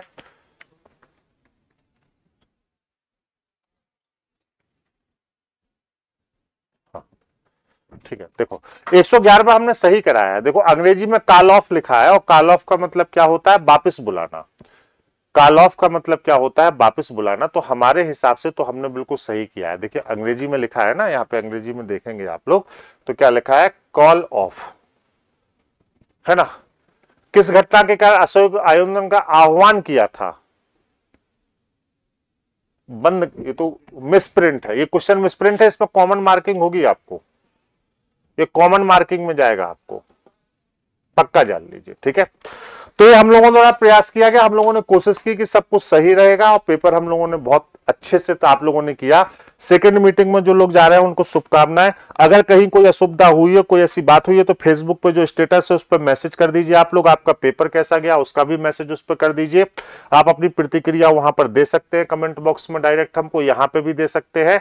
और मैंने बाकी आपको बताया कि ढेर सारे बैच बेटा शुरू हो रहे हैं। संस्था आपके लिए बिल्कुल तत्पर है और हम बहुत मेहनत से पढ़ाने चल रहे हैं और आप सभी लोग इन बैचेज के लिए संस्था के साथ तैयार रहे। ईश्वर करे कि आपको ये सब ना करना पड़े, आप लोग सफल हो जाए। और आप सभी को बहुत शुभकामनाएँ। शाम को मैं साढ़े चार, पौने पाँच बजे पुनः आपसे मुलाकात करता हूँ अगली मीटिंग के सॉल्यूशन के साथ। पूरी टीम ने भरकस प्रयास किया है कि भाई शुद्धतम हल आपको दिया जाए, फिर भी कुछ गलतियाँ होंगी तो हम अपडेट कर देंगे। रात को आठ बजे से रीजनिंग का कंप्लीट सॉल्यूशन आपको कराया जाएगा। दोनों पेपर का आप लोग बिल्कुल तैयार रहिएगा। सुबह वाली मीटिंग का भी कराएँगे और शाम वाली मीटिंग का भी कराएँगे। Thank you so much love you all आज मेरी तरफ़ से इतना ही। शाम को फिर से मुलाकात करते हैं। पूरी टीम की तरफ़ से शाम को जो भी लोग जा रहे हैं पेपर देने, उन सभी लोगों के लिए ढेरों शुभकामनाएँ।